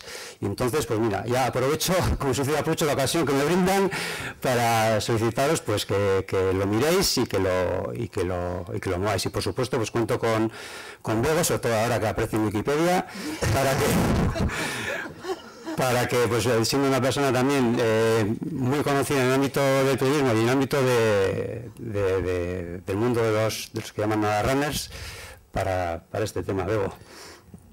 Bueno, pues nada, yo ahí estaré poniendo mis zapatillas como hace Imanol, porque de lo que se trata es eh, de poner tus zapatillas en cualquier parte del municipio de derecho y dejar ahí, ¿no? La cosa para saber, a ver, etiquetarle a Imanol y saber dónde están esas zapatillas y así ir haciendo ese recorrido tan chulo que algún día espero que podamos plasmar en un bonito vídeo que rule por las ferias y por todos los sitios sí. con la ayuda del ayuntamiento, si es que se presta. Yo esto lo estoy lanzando así como, como petición al aire. Eh, para hacer un, eh, un trabajo de, de, esas características. ¿no? Eh, bueno, Benan, no sé si me quieres preguntar algo o yo lo tiro. Yo, yo, sí quisiera preguntaros. Venga, voy a mirar a qué hora ha empezado, ¿eh? que ah. si no esto luego estaba y me pone aquí un tweet de, tráfico de influencias. Venga, hay 10. A ver, vosotros sois profesionales en vuestro ámbito, tú eres periodista y entonces te tienes que enfrentar a la dinámica de la hoja en blanco. Sí. Eso es lo que le pasa a Yulen todas las noches. Lo que pasa es que Yulen tiene entrenado ese músculo que se llama cerebro y eh, las ideas que le vienen a la cabeza las vuelca. Es lo mismo que hace Miquel, pero eso requiere ese entrenamiento del que nos dota Miquel y, y Julen, eh, pues es como cuando nos entrena Imanol, ¿no? Hay que hacerlo. Y te obligas y te pones a ello, ¿no? ¿Tú cómo lo haces? Pues eh, mira, yo en estos momentos eh, tengo abiertos dos blogs. uno es Veterana B, este está instalado en la blogosfera de Della y prácticamente, salvo los eh, fines de semana, todos los días está actualizado con temas que, bueno, pues que a mí me surgen, me, me llama la atención, cosas que quiero contar, quiero que, transmitir, quiero difundir o quiero denunciar. Y la verdad es que fue un blog que, que empezó en aquella época en la que se decía insistentemente lo del blog ha muerto, ¿no? Ahora fíjate que estamos en el 2017 y seguimos, eh, con, seguimos diciéndolo. También matamos a la también, también matamos a la estrella de la radio y fíjate, bueno, ha tenido que reinventarse mucho la radio. Y de cobardes, ¿no? Sí, sí, sí. y entonces, eh, bueno, pues eh, yo puse en marcha ese blog sin saber muy bien a dónde me iba a llevar, ¿no? Yo lo quería unir un poco a la radio, a las cosas que yo iba descubriendo y conociendo la radio y al final eh, ese blog yo le he ido dando un poco la vuelta, ha sido un poco la, la dinámica y la vida la que me ha llevado a darle un poco la vuelta y a no mm, fijarse tanto en las cosas que me surgen de la radio o de la gente que, con la que yo pueda tener un contacto directo y de descubrir historias nuevas en la radio como de mm, denuncias casi casi, ¿no? De las cosas que yo veo a mi alrededor. En estos últimos años eh, siempre he llevado esas gafas moradas puestas, ¿no? Pero mm, me ha enseñado y ha sido el blog eh, lo que me ha enseñado a llevarlas insistentemente puestas y, ver que prácticamente todos los días podría escribir de lo mismo, ¿no? Podría escribir de desigualdad, podría escribir de, discriminación cuando no era esa la intención de, del blog, pero a Veterana B sí que le ha llevado un poco por ese camino, ¿no? Mm, el día a día y, la situación que vivimos en tantos terrenos. Eh, relacionado con el mundo del deporte, eh, al principio sí que escribía mucho de deporte en, en, Veterana B y contaba mis carreras y contaba, bueno, pues mm, eh, las cosas que yo iba descubriendo corriendo, ¿no? Ahora mm, todas esas cosas, eh, aunque sí hablo de vez en cuando en Veterana B de Deporte, las he dirigido más al otro blog, un blog que yo tengo en runea.com y en la que ahí sí que hablo única y exclusivamente de cosas que tienen que ver con, el correr.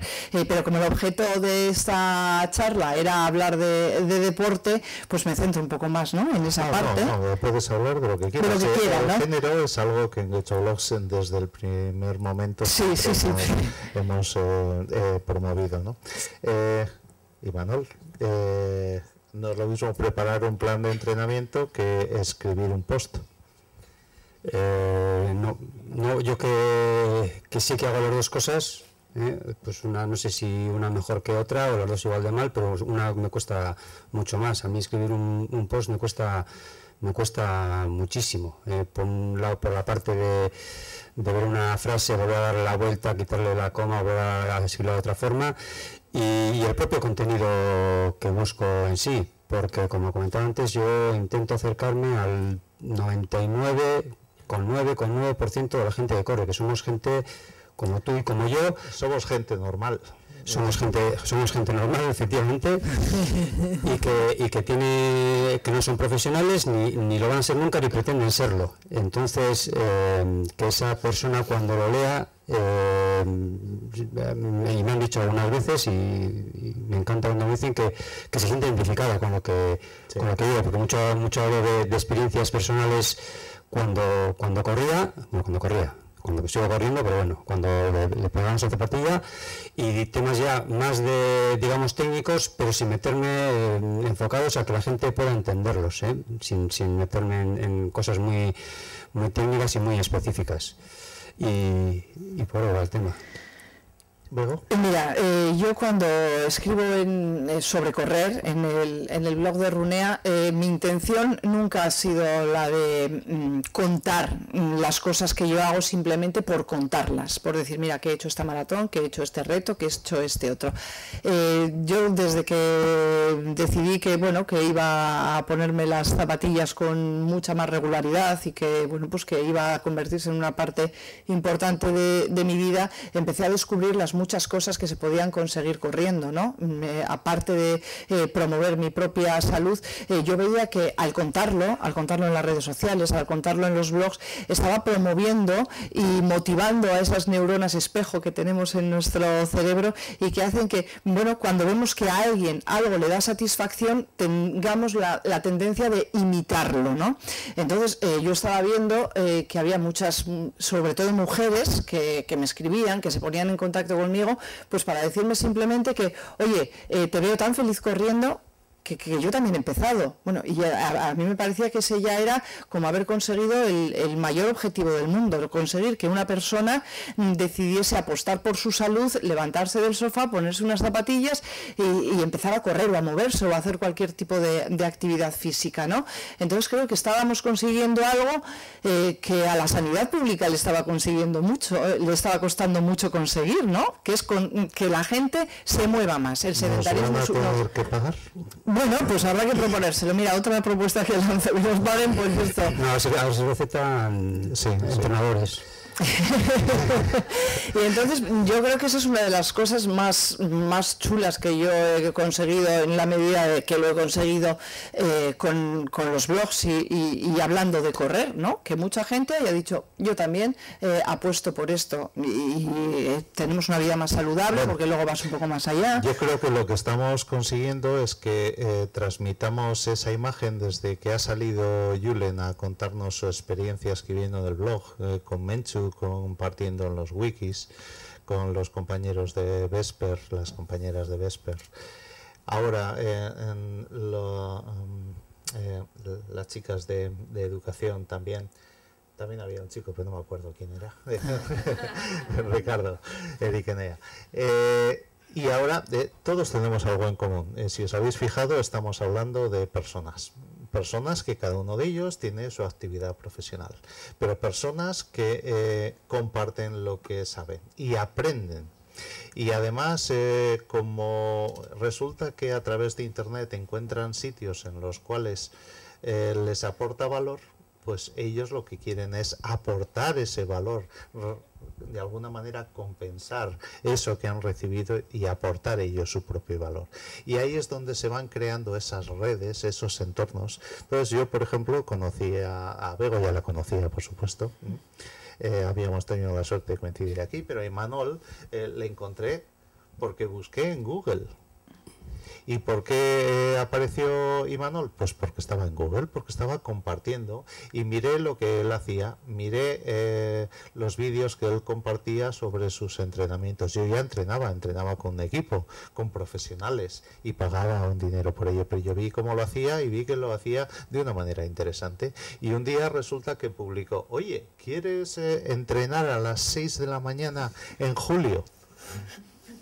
A las 6 de la mañana, de 6 a 7 y cuarto de la mañana, en julio. Tomó en serio cuando... Sí, y entonces eh, cogimos eh, otras dos personas y yo y dijimos, esto que no lo habíamos probado y que dicen la gente que corre que se puede hacer, pues lo pusimos en marcha y resultó una experiencia tan agradable hasta tal punto que mañana voy a intentar hacer mi primera Santurce Bilbao. ¿no? Esto al final es una progresión y vas sumando kilómetros, vas sumando iniciativas y te vas añadiendo objetivos. Eh, mi objetivo, que era sin más mantener una actividad eh, eh, y, y ser un paciente activo, que también es muy importante. Eh, al final gracias a profesionales, pero eh, en el fondo ellos la manera que tienen de darse a conocer es compartir lo que saben mediante esas pequeñas píldoras. No es difícil, lo único que hay que hacer es ponerse a hacerlo. Hombre, evidentemente Bego es una profesional del micrófono eh, y, y Manuel es un profesional de hacer los entrenamientos, ¿no? Pero eh, aún así se salen de sus eh, propios ámbitos de comunidad y se van a un lugar que es ajeno, que es Internet, un lugar en el cual estás expuesto a que cualquiera te pueda decir absolutamente cualquier cosa. Y fijaros cuál es el cambio, eh, pero antes la radio había que tener una cosita que con pilas en la cocina, que la oías y ahora se puede oír el último programa de Mendy Run. ¿Cómo? Que está sonando en estos momentos. Está sonando en estos momentos, eh, está emitiéndose a través de, eh, de, las ondas hercianas, pero además de eso tenéis un podcast que eh, lo podéis descargar y podéis oírlo en cualquier momento. A partir de las 2 de la tarde lo tienen disponible Incluso, corriendo. Bueno, hay mucha gente que se descarga los programas para escucharlos mientras entrenan.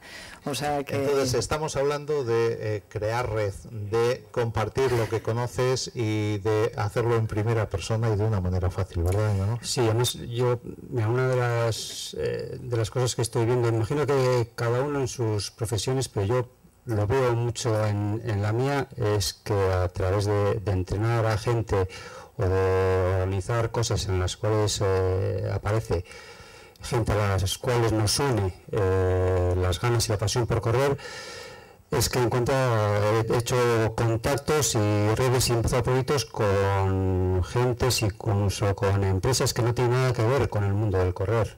¿eh? Tengo ya pues un poquito, últimamente poco, pero con, una marca de, cervezas, una colaboración, todo relacionado con el mundo de correr. Eh, con una agencia de viajes y, estoy y yo entreno a gente que se dedica a las más variopintas profesiones. Y como yo le voy a decir muchas veces a, a Bebo, cuando nos ponemos un pantalón corto, unas mallas, ahí somos todos iguales.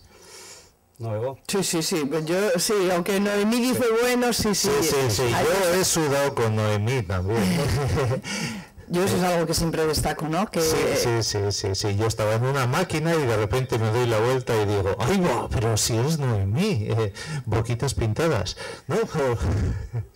Y sí, estábamos los dos haciendo ejercicio en, sendas máquinas y, lejos, no lejos, estaba, estaba también el pater eh, haciendo sus correspondientes sesiones de spinning. Es decir, es un mundo en el cual todos pasamos sí o sí por ahí, ¿no? Mira, eh, respecto a eso que decía Imanol, ¿no? de que todos somos iguales, y tú has citado antes la, maratón de Nueva York, que ha sido hace 15 días, en la maratón de Nueva York que están prácticamente todos los eh, altos directivos y ejecutivos de las grandes empresas. ¿no? Eh, hay muchos em, directivos que, son corredores, que son maratonianos y siempre están en, la maratón de Nueva York, y bueno, pues hay toda una filosofía ¿no? de por qué un directivo o directiva, directivas desgraciadamente menos eh, son maratonianos, ¿no? Eh, y, esto iba al hilo de que mm, efectivamente nos iguala. Eh, tú te pones unas zapatillas y yo estoy al lado del presidente de Telefónica y yo soy una periodista sin más, ¿no? Pero en ese momento somos absolutamente iguales porque podemos... Y yo he corrido con Oscar Garro también. ¿Has visto? o sea que bueno, que al final de lo que se trata es de ponernos en movimiento y sobre todo trayéndolo a nuestro terreno que es el de la tecnología, los blogs, y todas estas cosas, decir que a través de esas redes que se crean hemos conseguido crear una red todavía más grande ¿no? de personas que quieren llevar una vida saludable y que lo estamos transmitiendo casi continuamente a través de, las redes sociales y de, y de Internet. Y ese es un poco la, gran valía de, todo esto, ¿no? del esfuerzo que hacemos de escribir, de contar, de, retransmitir las cosas casi casi al, al momento, el valor que tiene es eso, ¿no? llegar a otras personas que en un momento su cabeza dirá, yo también quiero ponerme en marcha. Y que esto también es un futuro. Eh, de aquí se puede hacer negocio, se puede crear y se puede generar un área de actividad. Eh, Euskadi como destino eh, no solo culinario, sino también turismo activo, turismo deportivo. Bueno, ya, ya, ya, sí, mañana hay maratón en Donosti.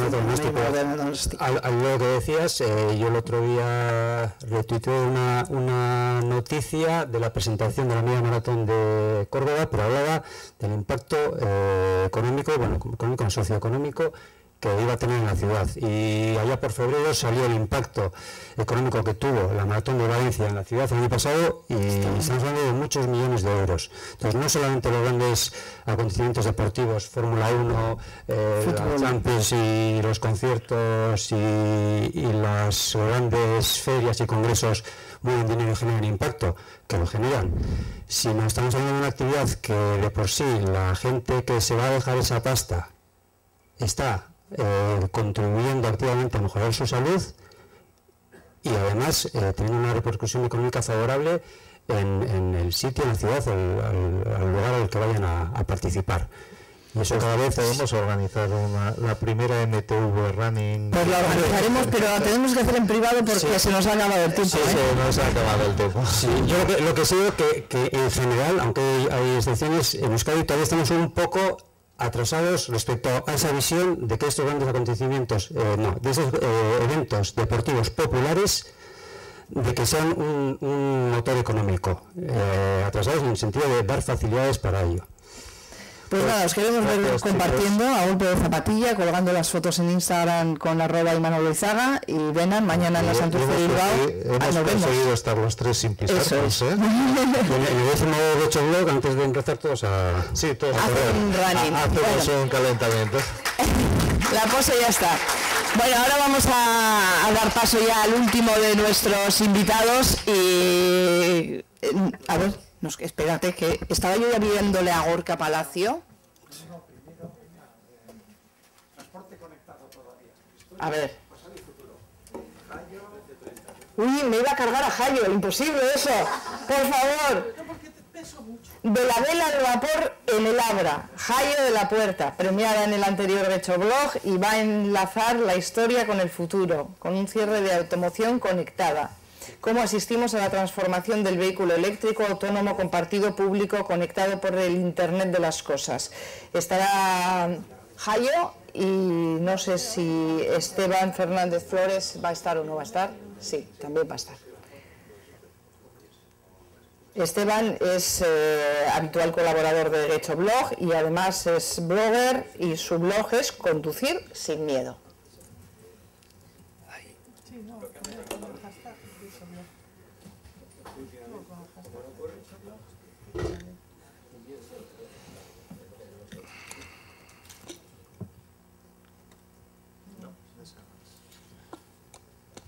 con el hashtag de Derecho Blog.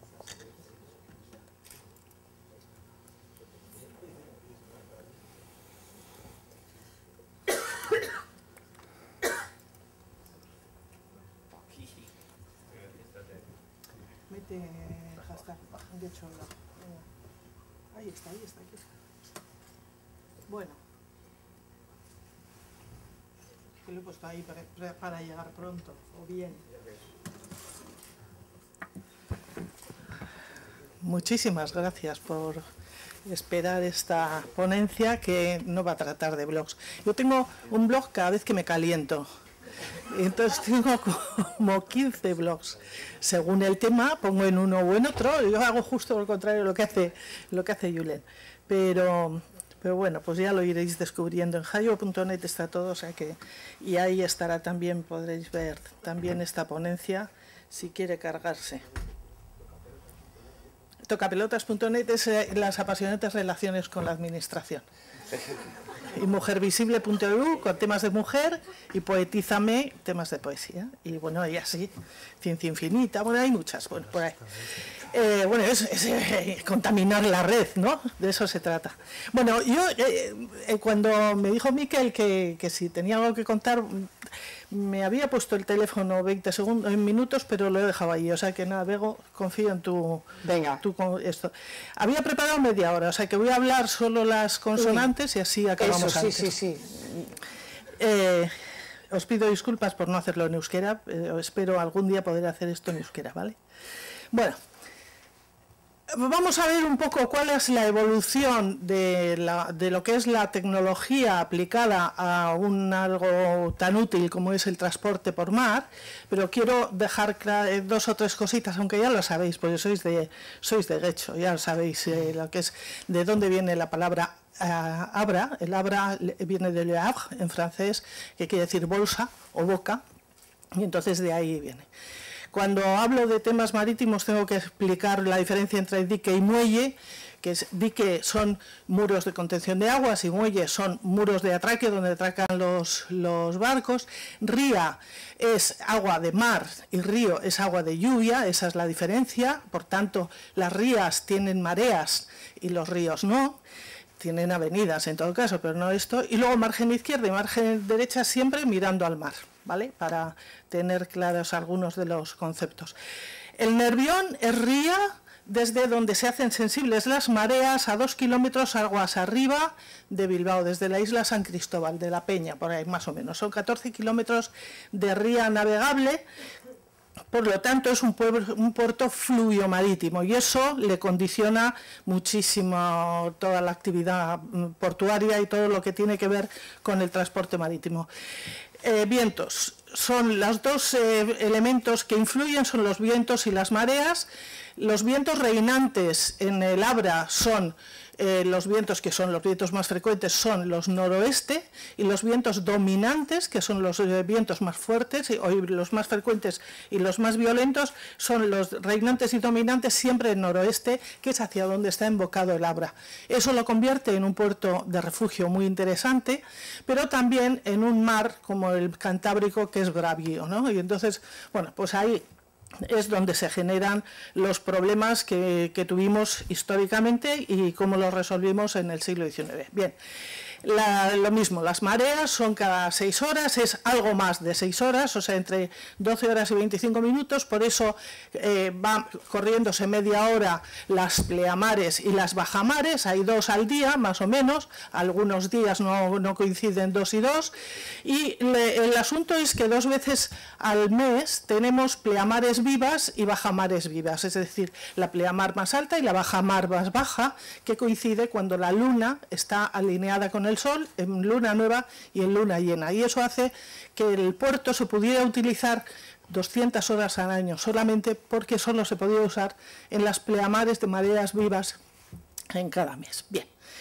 ¿Qué es la, embocadura? Tenía, tenía un auténtico problema.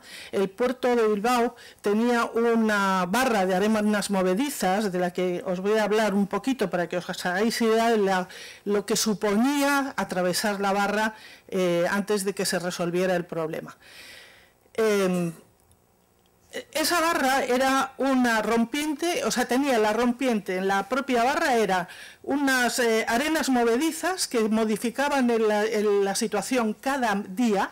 Había un oficio, el piloto mayor de barra, que era el que se ocupaba de calar la barra todos los días e informar cuánto calaba la barra para saber los buques que estaban fondeados fuera, a ver si podían entrar o no, porque los buques cargaban mucho cuando venían cargados con, carbón o cuando salían cargados con hierro.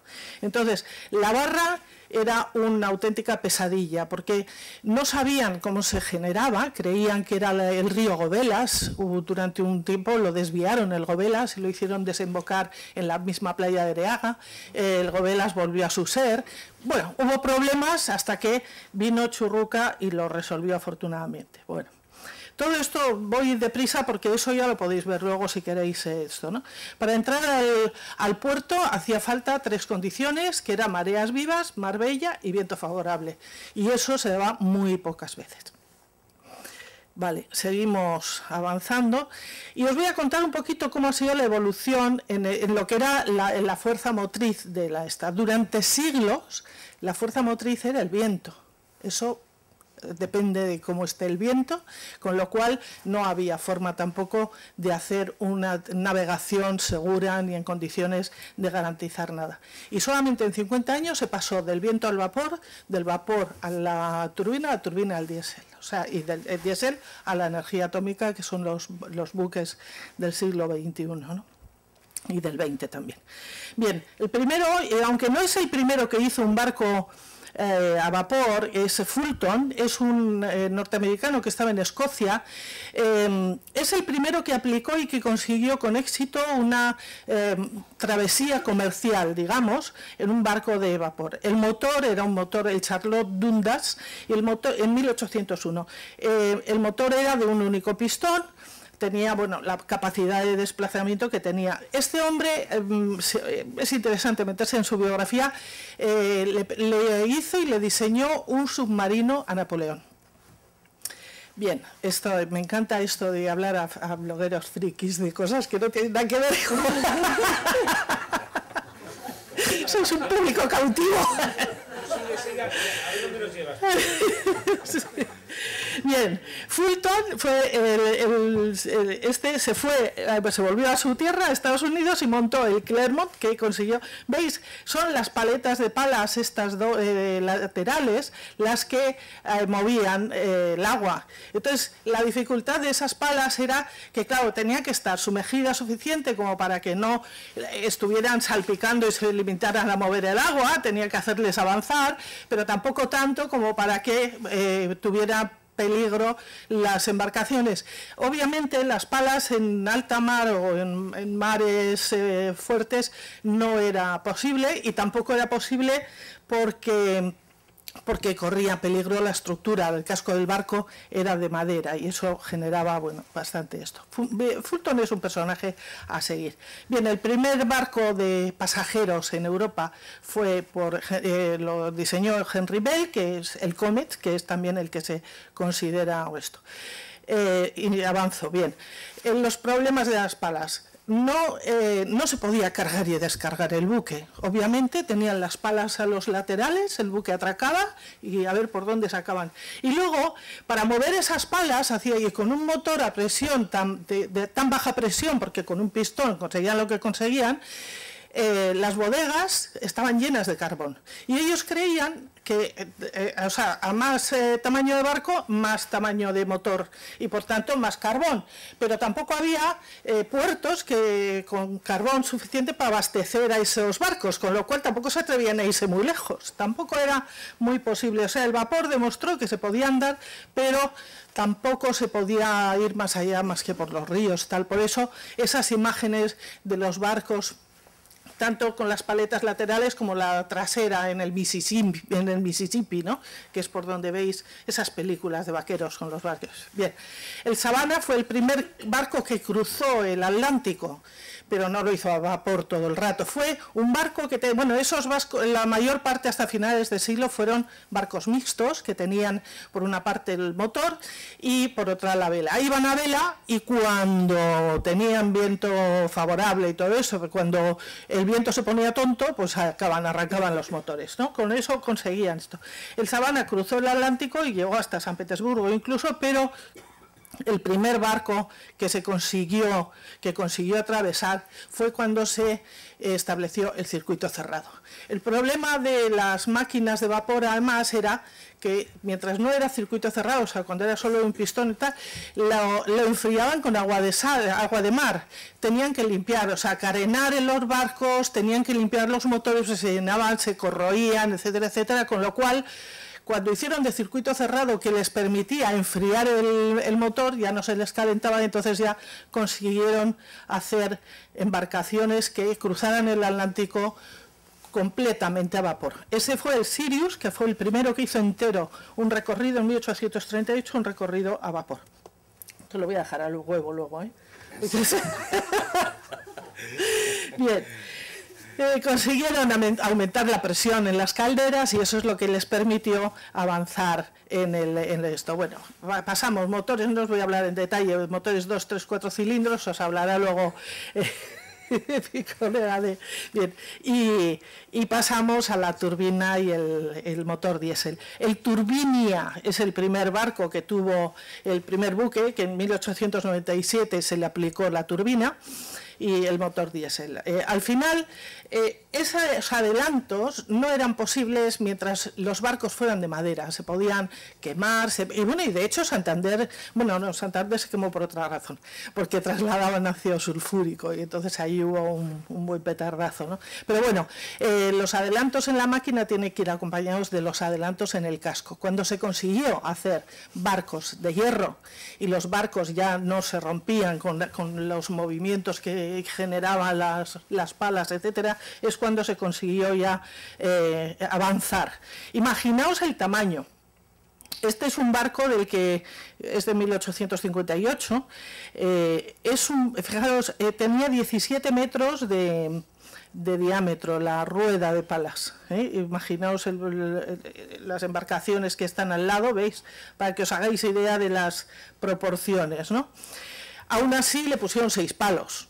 ¿Eh? o sea, tenía 17.000 y pico metros cuadrados de vela para poder moverlo.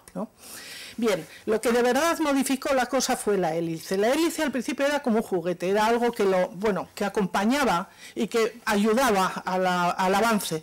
Pero claro, descubrieron que la hélice era mucho más eficaz y mucho más efectiva de cara a poder aplicarla a actividades comerciales, porque lógicamente no molestaba tanto como lo que, lo que esto, como las palas. Eh, el incremento en los... Eh, bueno, todo eso ya os lo leéis si tenéis interés, o sea que voy a ir corriendo con esto. Bien, hubo una, una cosa. Ese problema de tener necesidad del combustible, claro, el aire es gratis. Entonces, es verdad, los buques de vela necesitan muchísimo personal para manejarlos, para manejar las velas, el vename y todo eso, pero eh, el aire es gratis, pero el viento, perdón. Pero por otra parte, los buques eh, con vapor no dependen del viento y ya eh, pueden establecer unas líneas regulares, etcétera. Sucede que en la carrera del T los Clipper eran barcos mucho más afinados, mucho más ligeros, mucho más el Catisar que tenéis en la cabeza. Bueno, pues los Clipper fueron tuvieron una época de gloria de los años 60 a los 70 y tantos, 80, 1800 y pico, porque eso era eh, pues claro, no gastaban tanto, no gastaban tanto en combustible, lo gastaban en personal. Hacían eh, es más llegaron a hacerse carreras entre ellos y tal, ¿no? De a ver quién llegaba antes con el té a Inglaterra después de esto, ¿no? Bien, este, el Catisar, que fue un clipper muy, muy bello, la verdad es que era, pero claro, muchísimas veces incluso la tripulación apostaba con los demás barcos a ver quién llegaba antes, etcétera, ¿no? Tenían esto. Pero se abrió el canal de Suez, y el canal de Suez no tiene vientos favorables. Fijaos, este es un clipper alemán. ¿eh? Os hacéis idea, ¿no? De lo que era tener que mover eso en vela, solamente encerrar velas y esto ya... Bueno, el, canal de Suez no tiene vientos favorables y entonces, claro, ya definitivamente, porque en cuanto eh, ponían el rumbo hacia esto, ya aquello se paraba y entonces ya el, el vapor ya triunfó a esto. Bien, eh, modificaron los cascos, el casco de hierro, etcétera, y este, el Great, Great Easter, en 1858, esta era la pala, esa que os he enseñado antes le pusieron seis palos para navegar, ¿eh? pero veis las chimeneas, tal. Esto era una bestialidad para la época, tanto que los, los puertos no tenían forma de atracar, eh, no tenían dónde acoger semejantes poblaciones flotantes. ¿no? De hecho, este barco se hizo un dique paralelo a lo que era el de construcción y no consiguieron botarlo, lo tuvieron que ir corriendo con cadenas de centímetro a centímetro hasta que lo consiguieron eh, eh, botar. ¿no? O sea, generaba bastantes problemas de logística. Para que os hagáis idea, pues he puesto aquí solamente en cadenas, anclas, etcétera, etcétera, pues tenía 200, casi 250 toneladas que arrastrar solamente para lo que era lo que, el atraque y desatraque. ¿no? Bueno, el, Great Eastern después es el que, al que le debemos la unión entre los dos continentes del cable submarino, porque era el único barco capaz de llevar y de poder llevar el cable submarino de una única pieza desde Europa hasta América. O sea, realmente, ¿eh? Eh, luego tuvo una, una muerte muy poco digna, porque al final acabaron como olvidándole y eso, ¿no? Pero bueno, Podríamos decir que los, las modificaciones, pues ya veis, ¿no? del 38 al 72 son los propulsados a paletas, luego ya empiezan los que van a hélices y con pistones, y lo de doble y, triple pistón, y luego ya los que van con hélice, turbinas y, y esto. Bien, y diésel. ¿Qué pasaba aquí? Aquí teníamos... un resumen ya. ya, no, voy a los barcos de aquí. Ya, los dos. Vale. No, pero no estoy en los 20 minutos todavía, ¿no? Yo había ah, sí, sí, sí, no, no. Es que vamos con bastante retraso. Ya, vale, vale. El, el Sporting, el Sporting, aquí lo tenemos. Tenemos, este es eh, un cuadro de Losada con uno de los barcos de paletas, el volador, que era un remolcador que ya lo veis qué bonito, era bellísimo este barco. Esto es en la ría de Bilbao y posteriormente vamos avanzando, vamos viendo que también subían hasta, esto es la sendeja, o sea, para que os hagáis idea, ¿no? De los barcos que llegaban hasta, hasta atracar en los buques. Estos era el remolcador eh, volador también. El Infanta María Teresa, cuando ya se hizo a finales de siglo, se construyeron los tres eh, buques eh, de la Armada, de hierro, por supuesto. Eh, en 1890 y vemos ya el Domine, este ha dado nombre a un hotel, el Hotel Domine se llama por este barco, precisamente. Y este es, para que os hagáis idea, aquí está el Guggenheim, o sea, esto es la universidad, para que os hagáis idea de dónde estaba atracado en esta foto. ¿no? Esta es la botadura del buque tanque, etcétera, etcétera. Bien, el Loyola, ya vais viendo cómo van evolucionando el aspecto de los barcos. ¿no? Solamente contaros que como son los tres elementos que influyen, en cuanto al vapor y el comercio hay una influencia, relación directa. Cuando con el vapor aumenta el tamaño de las embarcaciones, eso hace que en el comercio haya más mercancías, más voluminosas, lo que hace que los buques tengan que ser de mayor tamaño y tengan mayor capacidad, lo que obliga a que los puertos se acondicionen con mayor calado, fondeaderos, altura de los muelles, etcétera, etcétera. Por otra parte, el vapor disminuye las distancias, lo que nos lleva a que se puedan acceder a nuevas mercancías y a mercancías especiales. Esto de que se me vaya al público a mitad deprimente. Bueno, la lleva a la especialización de los buques, empiezan los buquetanques, empiezan los barcos eh, graneleros, los barcos ya especializados. También lleva, por tanto, a la especialización de los muelles y a los cargaderos y, estos, y el aumento de la velocidad y regularidad de la, de la navegación hace que haya más tráfico nacen las compañías, eh, las compañías navieras porque ya es más fácil garantizar la llegada de los barcos. Primero los barcos correo y posteriormente las líneas regulares de las compañías de navegación y las ilustraciones y las estas, ¿vale? El tema de la cinta azul es una cosa curiosa, se daba, era una especie de premio que se daba al barco que atravesaba el Atlántico en menos tiempo. Y ese, el Sirius lo llevó durante mucho tiempo y posteriormente el Great Eastern, etcétera, etcétera. Bueno, y ya como eh, no me quiero extender más, eso lo veréis ya cuando esto. Esto deciros que el, titanio, el Titanic fue sirgado por gente de Guecho, que eso es, debéis estar muy orgullosos porque fue posible que el Titanic, eh, Titanic entrara en el puerto de Bilbao gracias a las sirgueras de Guecho. Y por último, poneros un pequeño vídeo, si es Hace honor Bilbao a su rango de ciudad veraniega y nos ofrece el pintoresco aspecto de... ¿Qué le pasa? ¿Qué le pasa? Os iba a sacar, es que dice muy bien, como Guecho es una ciudad de, bañistas de Bilbao, que pertenece a Bilbao. Estaba bien, bueno, lo podéis ver en la, en la esta, esto se ha parado. Y... Sido Bego, te está hackeando. Va a ser eso. Ah, la piedra. Vale, muchas gracias. Venga, el aplauso para Jairo, hombre, no se va a quedar sin su aplauso.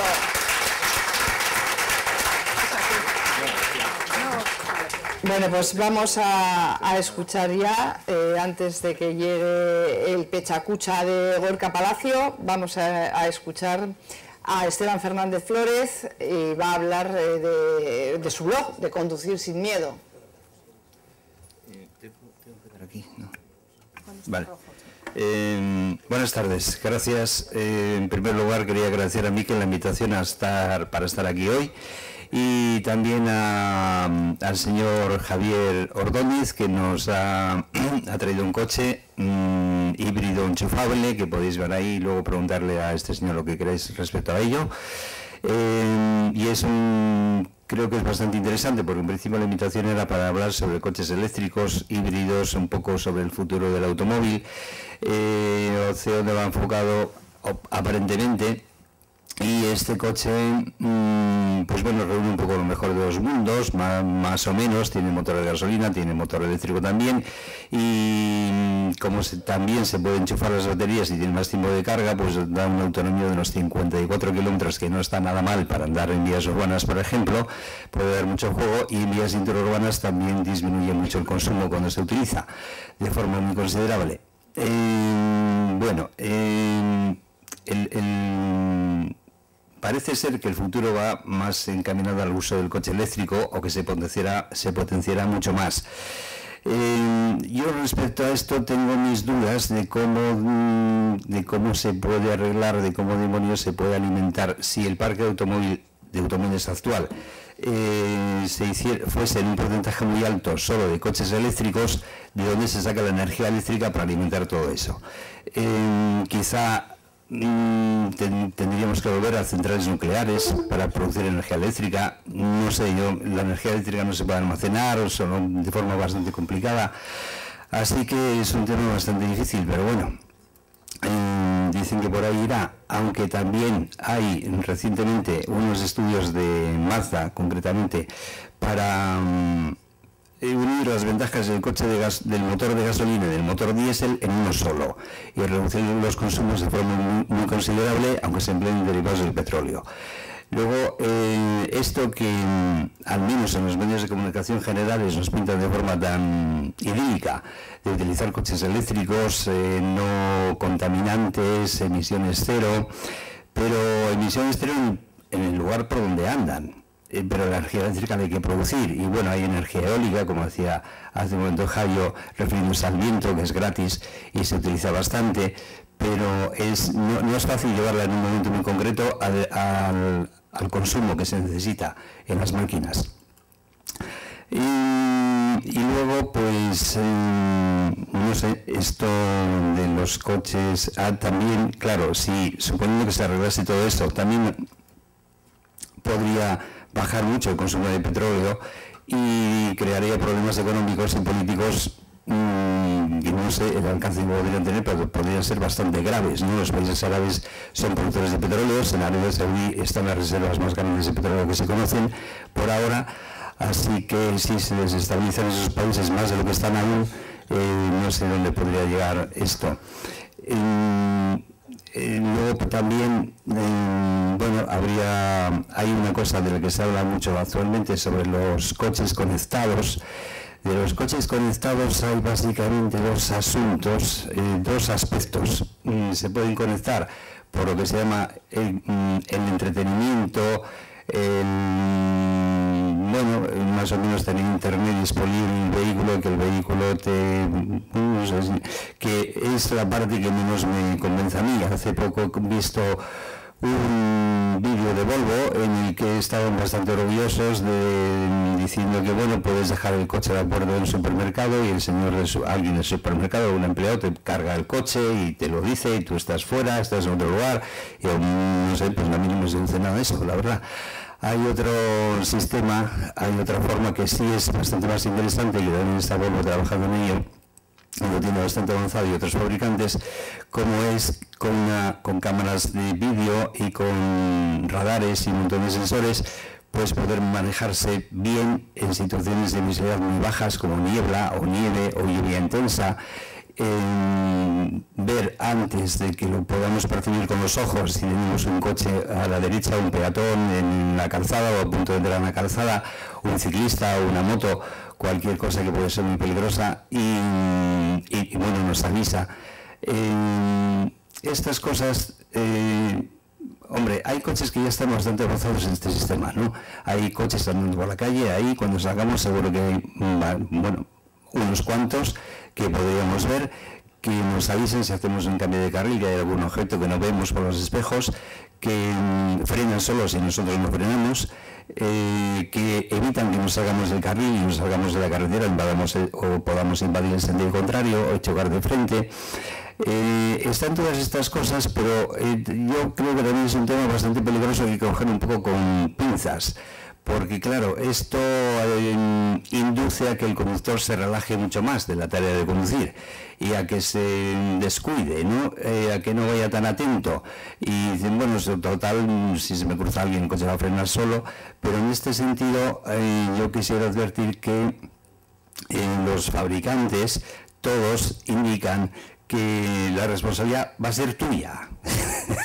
si pasa algo, si el sistema no funciona, si se me cruza una persona y el coche no me frena solo, eh, la responsabilidad va a ser mía, no va a ser del fabricante. Eh, entonces esto, cuidado. Y en esto también ha habido una, un accidente muy conocido en Estados Unidos con un Tesla que se metió debajo de un camión que se le cruzó y cuando el conductor iba mm, en piloto automático. Y bueno, perdió la vida ese hombre. Eh, y Tesla enseguida un comunicado diciendo que nosotros avisamos de que tú debes estar atento. y bueno, son contradicciones, ¿no? Pues si me dices que, esté atento, ¿para qué me pones algo que, lleve el coche solo?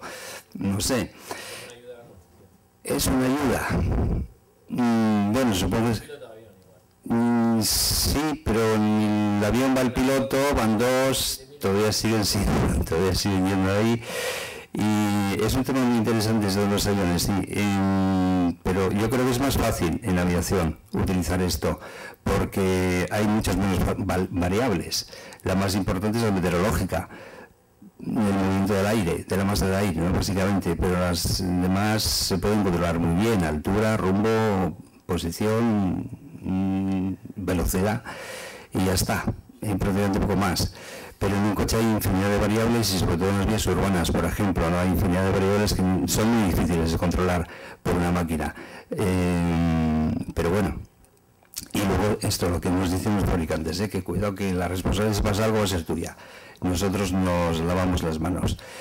Eh, y esto enlaza también con el famoso coche autónomo de Google que empezó el coche que ya no tenemos que conducir, que nos lleva solos. En un primer momento ese coche lleva lleva mandos, volante, pedales, palanca, etcétera. Ahora ya no llevan, bueno, luego dijeron que no hace falta mandos, tú indicas dónde quieres ir, el coche te lleva y ya está.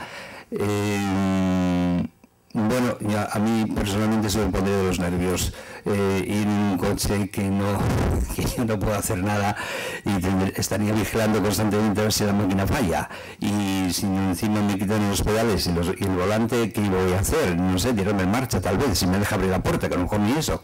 Eh, es una cosa, eh, no sé puede venir muy bien, desde luego, a personas que no se puedan, que no puedan conducir, a personas que no ven, por ejemplo, y a personas mayores o por, cualquier enfermedad o discapacidad que no puedan manejar un coche, pues les puede venir muy bien y sería una ayuda muy buena para su calidad, su calidad de vida, seguramente. Pero mm, hay posibilidad de fallos y ahí hay también problemas legales, aún no se sabe quién va a tener la responsabilidad si ocurre algo, ya ha habido accidentes. la responsabilidad civil, bueno, se podría delimitar de forma más o menos fácil, supongo, pero la responsabilidad penal ni se habla de ello, en eso ni se menciona siquiera, ¿no? Eh, ¿Quién podría ser penalmente responsable de un accidente que ocurra con uno de estos coches? También hay otro tema muy, muy interesante el que se apunta con esto, y es que el software que maneja estos coches, que gobierna el movimiento del mismo, eh, se puede utilizar de modo que el coche decida en una situación de peligro quién se estrella, si el autobús que viene de frente, si él se sale de la, del carril, pierde la trayectoria, o, yo, por ejemplo, si voy en un turismo con unos amigos o la familia, ¿no? Sin más. Eh, el sistema lo decide.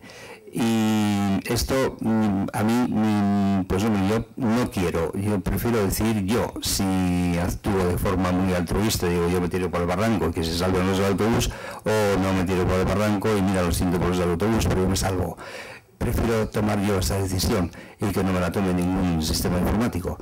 Pero, en fin, eh, ¿Qué más? Eh, hay algo más, sí, sobre el futuro de automóvil, también un tema interesante, y es eh, sobre... Mm, además, en este país muchas veces solemos criticar todos, yo creo que con mucha frecuencia, a veces y quizá hasta por un poco por exceso, pero en todas partes gocenabas, ¿no? Y hay, en el año 2014, la Unión Europea se gastó 5.000 millones de euros que no es nada vale, 5.000 millones de euros, mm, en, crear o generar coches que huelen, con la idea de, facilitar el transporte privado de personas con coches que huelen.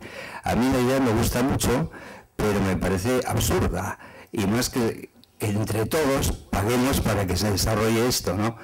Eh, no sé. Y yo no, veo ninguna viabilidad real. Si empiezan a volar por ahí todos los coches ahora, además el gasto de energía sería tremendo, ¿no? Lo que puede costar mover una masa de unos mil kilos, o por lo menos es difícil bajar de los mil kilos en un coche, subir eso Mm, claro, tendría que ser despegue y aterrizajes verticales, eh, es una barbaridad. Hay algunos por ahí, hay algunos ya a la venta por un millón de euros, eh, no está mal, eh, pero no se puede ir por la carretera y salir volando directamente. Tienes que ir a un aeródromo con, tu con ese coche volador, vas a un aeródromo, del aeródromo despegas y entonces, bueno, luego lo utilizas como avión, luego vas a otro aeródromo, aterrizas y lo utilizas como coche. Entonces, bueno, ¿para qué me sirve? Pues me sale mucho más barato tener un coche normal y, tener, y comprar un ultraligero, ¿no? Voy al aeródromo, utilizo cuando quiero y ya está, por ejemplo. Pero bueno, eh, son cosas un poco no sé, un, poco extrañas. sí, si te parece, vamos terminando. Sí, pues acabo ya. Solo comentando por una cosilla que me parece interesante y es que con todo esto que nos hablan de los coches autónomos, eh, y algunas cosas más, y los coches eléctricos y todo que nos lo pintan así como muy bien, hay como, eh, ¿cómo diría yo?, como una especie de imposición que parece que aceptamos como una resignación cristiana muy sorprendente para mí, ¿no? no, es que es lo que hay y parece que el futuro será lo que será pero ese será, lo que será es lo que otros nos impongan. Hombre, podremos decidir si andamos con coches eléctricos o no, o si o sigo andando con un coche de los años 50, que me gusta más, digo yo pues parece que no, que nos quieren imponer todo, ¿no? Y eso es un, asunto bastante preocupante.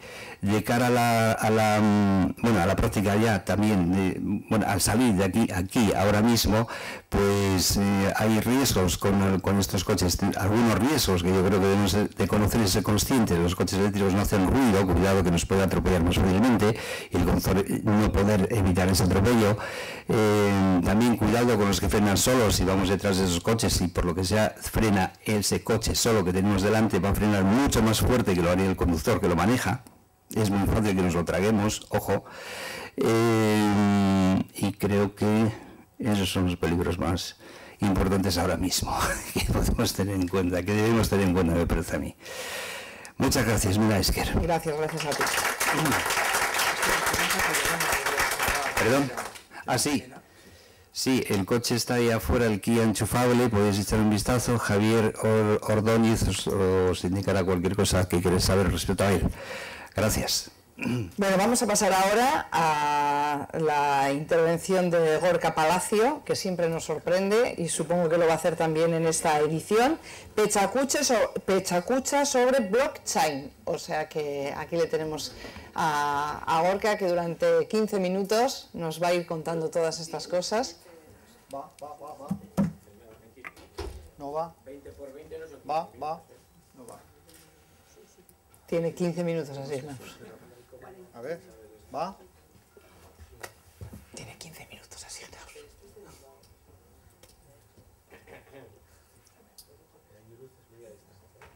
Igual con la... Ahí está, vale. Sí, va.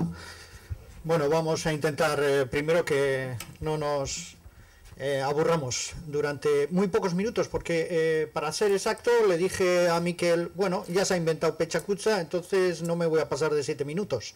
Pero bueno, antes, como tengo un poquitín de tiempo, eh, os cuento mi experiencia, porque venimos a contar experiencias, ¿no? Nada más que eso. Bueno, yo le había dicho a, a, a Miquel, y además, pues justo vengo de dos, dos invitaciones que me han hecho este año en, en Brasil, eh, en junio y ahora en septiembre, eh, precisamente para hablar de educación y las últimas tecnologías. Entonces, eh, lo tengo comprado hace bastante porque me gusta el crowdfunding y todavía no me ha llegado. La próxima semana me parece que ya me llegan las dos, el Go Touch y también el, el invento que va a, superar la barrera de los idiomas. Quería presentarlo con el pilot en portugués en, Brasil, pero bueno, no ha sido posible, pero no hay ningún problema. Entonces, a ver si para el próximo año, ya como el próximo mes tendré el pilot y el Go Touch, pues veremos eh, lo que está haciendo eh, la multitud para eh, hacer más cosas y mejores. Ahora se inventa en multitud.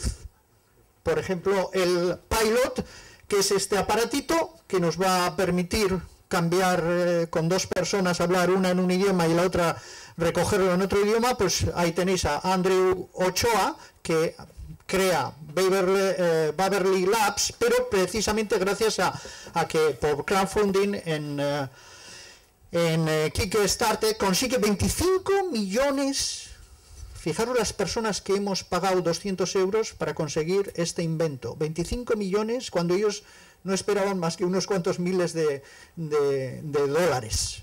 Eh, las cosas son así.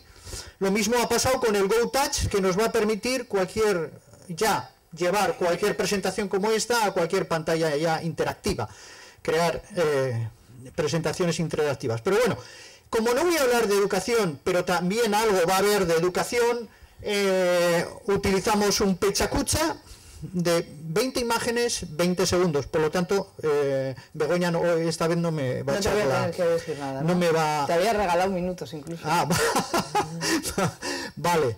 Bien, bueno, eh, como hemos creado Blockchain Bilbao para los que quieran ver la tercera revolución de, que nos viene, la tercera revolución de la informática, lo podemos llamar. Sí, la primera que fue, el invento del ordenador. La segunda, ¿cuál fue? HTTP, es decir, Tim Berners-Lee crea la web. Bueno, pues la tercera la estamos viendo ya, ya se puede decir que blockchain va a ser lo que nos viene. Todos los bancos están temblando, todas las empresas piensan que van a tener que hacer un cambio tremendo, van a desaparecer bastantes puestos de trabajo, algunos ya est- están muy claros. Ah, vamos a por fin a conseguir la red, el Internet del valor, que llamamos, ¿no? Entonces, sobre esto voy a hablar. Eh, es verdad que alguno me dirá, "Jo, pero esto va unido a las criptomonedas. Sí, la tecnología es la misma. Vamos a hablar también de criptomonedas, porque esto es gracias a, a que Bitcoin y todas las demás monedas aparecen se ve, se prueba esa tecnología, funciona y ahora nos estamos dando cuenta de que todo esto se puede pasar a, cientos de empleos y de eh, actividades humanas, que es lo importante. Bueno, si queréis saber eh, cómo está, yo eh, unos cuantos por aquí, y precisamente Malcavian ha venido de Blockchain Bilbao, somos unos cuantos que llevamos lo de Blockchain Bilbao. Y, y bueno, más de uno dentro de poco tendrá que, ¿eh? que repartir dinero, de tanto dinero que está sacando precisamente con eh, el truque de monedas eh, que podéis ver ahí. Yo tuve la mala suerte de que hace bastantes años, cuando empezó lo Bitcoin, valía 10 euros, más o menos. 7 dólares llegó a empezar, 10 euros, y, y es verdad que estuve a punto de coger 10 bitcoins por probar. Dices, va, no es mucho dinero, pero bueno, yo como no juego ni a las loterías, no me gusta ni las loterías, ni nada de juegos y tal, y vi que tenía muchos altibajos, pues lo dejé. Hoy ya sabéis a cuánto está el bitcoin. En estos momentos lo acabo de consumir, de, de consultar, y está a 7.000 y pico euros el, eh, el bitcoin. El 60% del tráfico de bitcoin se está, pasa por China. Ya sabéis que la gran apuesta de China ha sido las criptomonedas, también Rusia, como vamos a ver ahora. Y el futuro de, de las monedas o del truque humano, ¿eh? del dinero fiduciario que se decía antes, parece que va a ir por ahí. ¿eh? Dentro de poco hablaremos más de criptomonedas que de, de, las monedas en papel. Bueno, entonces dejo esto, os había puesto estas, eh, y vamos ya con la pecha cucha, que son seis minutos, y, y hay que hacerlo rápido. A ver, F5. Vamos a ver si funciona esto bien.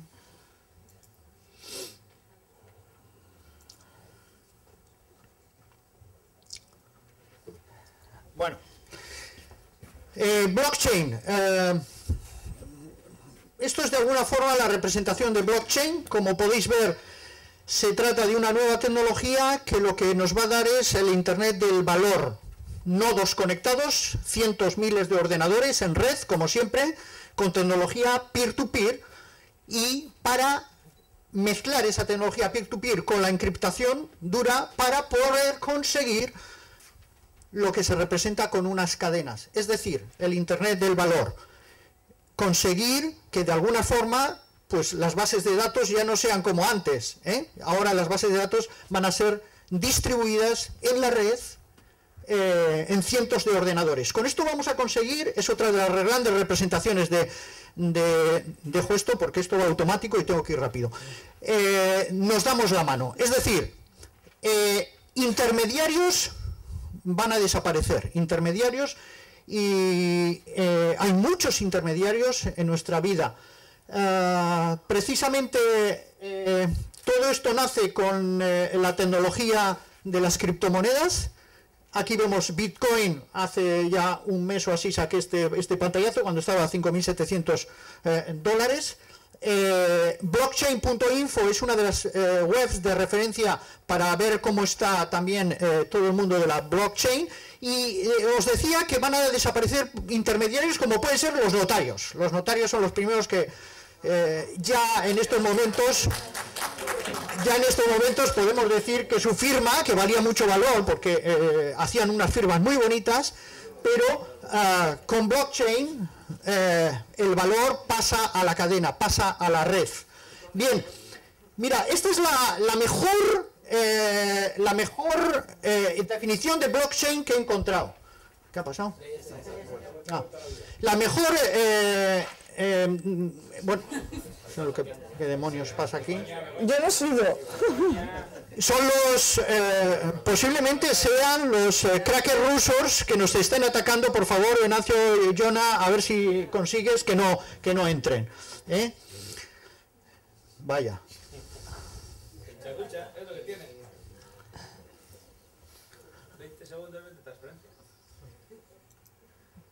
Ahí estábamos. Bien. Venga, que esto va automático. Bueno, entonces los notarios me había quedado aquí. Eh, es uno de los eh, empleos que va a desaparecer. Ya se están experimentando con testamentos también, por ejemplo, imaginaros, automatizados, con lo que no vamos a necesitar intermediarios para que eso se lleve a la práctica. Bueno, eh, aparte de esto, la definición, cada vez oiréis hablar más de mineros, de nodos, de bases de datos distribuidas, de pruebas de trabajo, de pruebas de acceso, de ordenadores en red, de tecnología peer-to-peer, -peer, que algunos de vosotros ya lo habéis experimentado con Torrent. Bueno, esta es una definición, la leéis porque es muy compleja, sé que muchos de vosotros no lo vais a entender, pero si no, estamos en Blockchain Bilbao y Malcavian y yo os podemos ayudar. Bueno, eh, porque ya nos estamos convirtiendo en mineros. ¿Los mineros qué son? Bueno, son los salvaguardas, las policías que van a ver, que van a, que va a haber en blockchain. Son los que crean el dinero. Los, el dinero ya no se va a crear por medio de los estados, se crea por los mineros. Pero es verdad que hay muchos estados que saben que esto es fuerte y que ya están creando aplicaciones y grandes uh, webs para intercambio de criptomonedas como Coinbase. ¿eh? Concretamente el Banco Bilbao Vizcaya ha invertido ahí porque ha visto que el negocio posiblemente en el futuro sea por ahí. Yo aquí tengo un, un Ether. He comprado un Ether que en estos momentos ya me está dando una rentabilidad eh, dentro de poco yo supongo que el 400%. Este es el, el señor eh, Satoshi Nakamoto, que es el que crea toda esta tecnología. Un genio. Pero no sabemos quién es. No, no, pero es que no es él. Es, no es él. Satoshi Nakamoto le entrevistaron en Japón Y, él decía, no sé de qué me están hablando, yo no soy esa persona. Es un mote. Se supone que es un finlandés, otros dicen que es un japonés y otros que un estadounidense. No lo sabemos. Bien. Jesús María José. Pero hay otras personas, otras personas que se dieron cuenta que esto era mucho más fuerte de lo que traían las criptomonedas. Y entonces aquí tenemos al gran héroe, ¿eh? nuestro héroe. En Telegram ya le ponemos, es la persona más delgada del mundo, posiblemente, y ya veis que ha hecho bastante músculo. Y es Vitalik Buterin, ¿eh? es un ruso canadiense que ha vivido en Singapur y ahora vive en Zug, en Suiza, y es el que en el último foro mundial de Petrogrado, Vladimir Putin le llamó personalmente, le dijo, toma, a partir de ahora es la segunda, lo han inflado de dinero, la plataforma Ether, porque es la con la que se están creando de Ethereum, se están creando los eh, contratos inteligentes, etcétera. Es de alguna forma el visionario, este chico, el visionario que ha dicho esto va más allá de las criptomonedas. Se empiezan a vender ya libros de Ethereum y de eh, Solidity con su lenguaje de programación para hacer contratos ah, inteligentes, etcétera. Es una revolución que empieza ahora no solamente con Ethereum, con el chico este ruso, eh, se supone que van a aparecer más eh, eh, frames para poder hacer cosas con esto. Fijaros lo que dice Buterin. Dijo, empecé hace seis años en el campo de blockchain, lo ha dicho hace poco, ¿eh? Gané 20 bitcoins, de los cuales 8,5 invertí en comprarme una camisa. Los bitcoins que gasté tienen ahora un valor de 20 mil dólares. Ahora, a día de hoy, ya son más de 100 mil euros.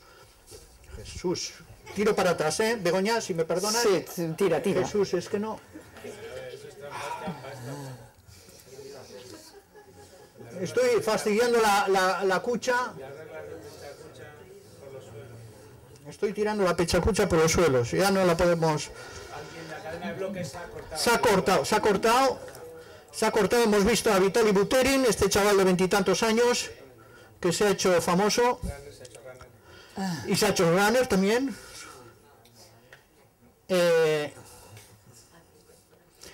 dice que ganó eso, pero de lo que realmente me di cuenta con este experimento global es que el sistema de la economía digital solo trabaja si miles de personas alrededor del mundo trabajan colectivamente. Uber, BlaBlaCar, Airbnb.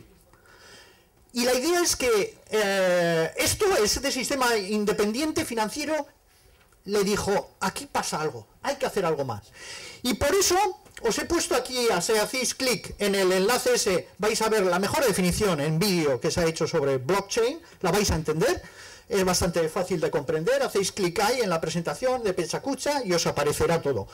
Eh, bueno, ya veis que vengo de Brasil, por eso traigo maqueado el Firefox. Bueno, en la Universidad Australiana ya empiezan a, utilizar blockchain, eh, credenciales, empiezan a sacar bueno, vamos a tener en blockchain los currículums de todo el mundo, vamos a tener todos los uh, de las administraciones, todo lo tendrán que pasar a blockchain, todas las bases de datos. La, la universidad en estos momentos puntera es la de Nicosia, una universidad de Chipre, es la referencia mundial, pero es porque detrás está Antonopoulos, uno de los grandes de blockchain. Ah, y entonces es la primera que ha dado ya un máster en blockchain, en ofrecer un curso de eh, criptomonedas, eh, es, eh, por decirlo así, la número uno. Se ha creado también una universidad blockchain, fijaros que hasta el propio nombre ha dado ya para estar en primera línea en esa revolución que nos viene ahora con la cadena de bloques o blockchain. esto se está moviendo muy rápido, eh, en eh, blockchain España me parece que eh, ya hay 500 personas, ¿no? En Bilbao no sé cuántos podemos estar, pero bueno, viene muy fuerte. Vemos los usos que le podemos dar en la educación. Y entre esos usos en la educación tenemos expedientes de los estudiantes, administración de la investigación, programas de cursos almacenados en blockchain, vídeos de una universidad que ya empieza a meter los vídeos en blockchain, etcétera. ¿Y nosotros qué vamos a aportar? Pues para el próximo año yo estoy preparando con un grupo y fichando a gente, vamos a preparar un máster, el primer máster en blockchain y criptoeconomía. ¿eh? Ah, es, yo creo que va a ser un máster pionero porque no se está haciendo nada a nivel todavía a nivel eh, europeo. Eh, y, esto es todo.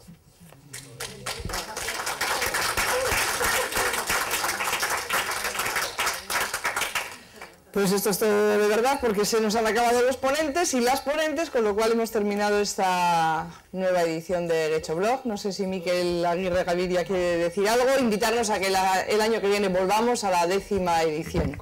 Bueno, in- invitarlos a que posteéis también de todo esto, que eh,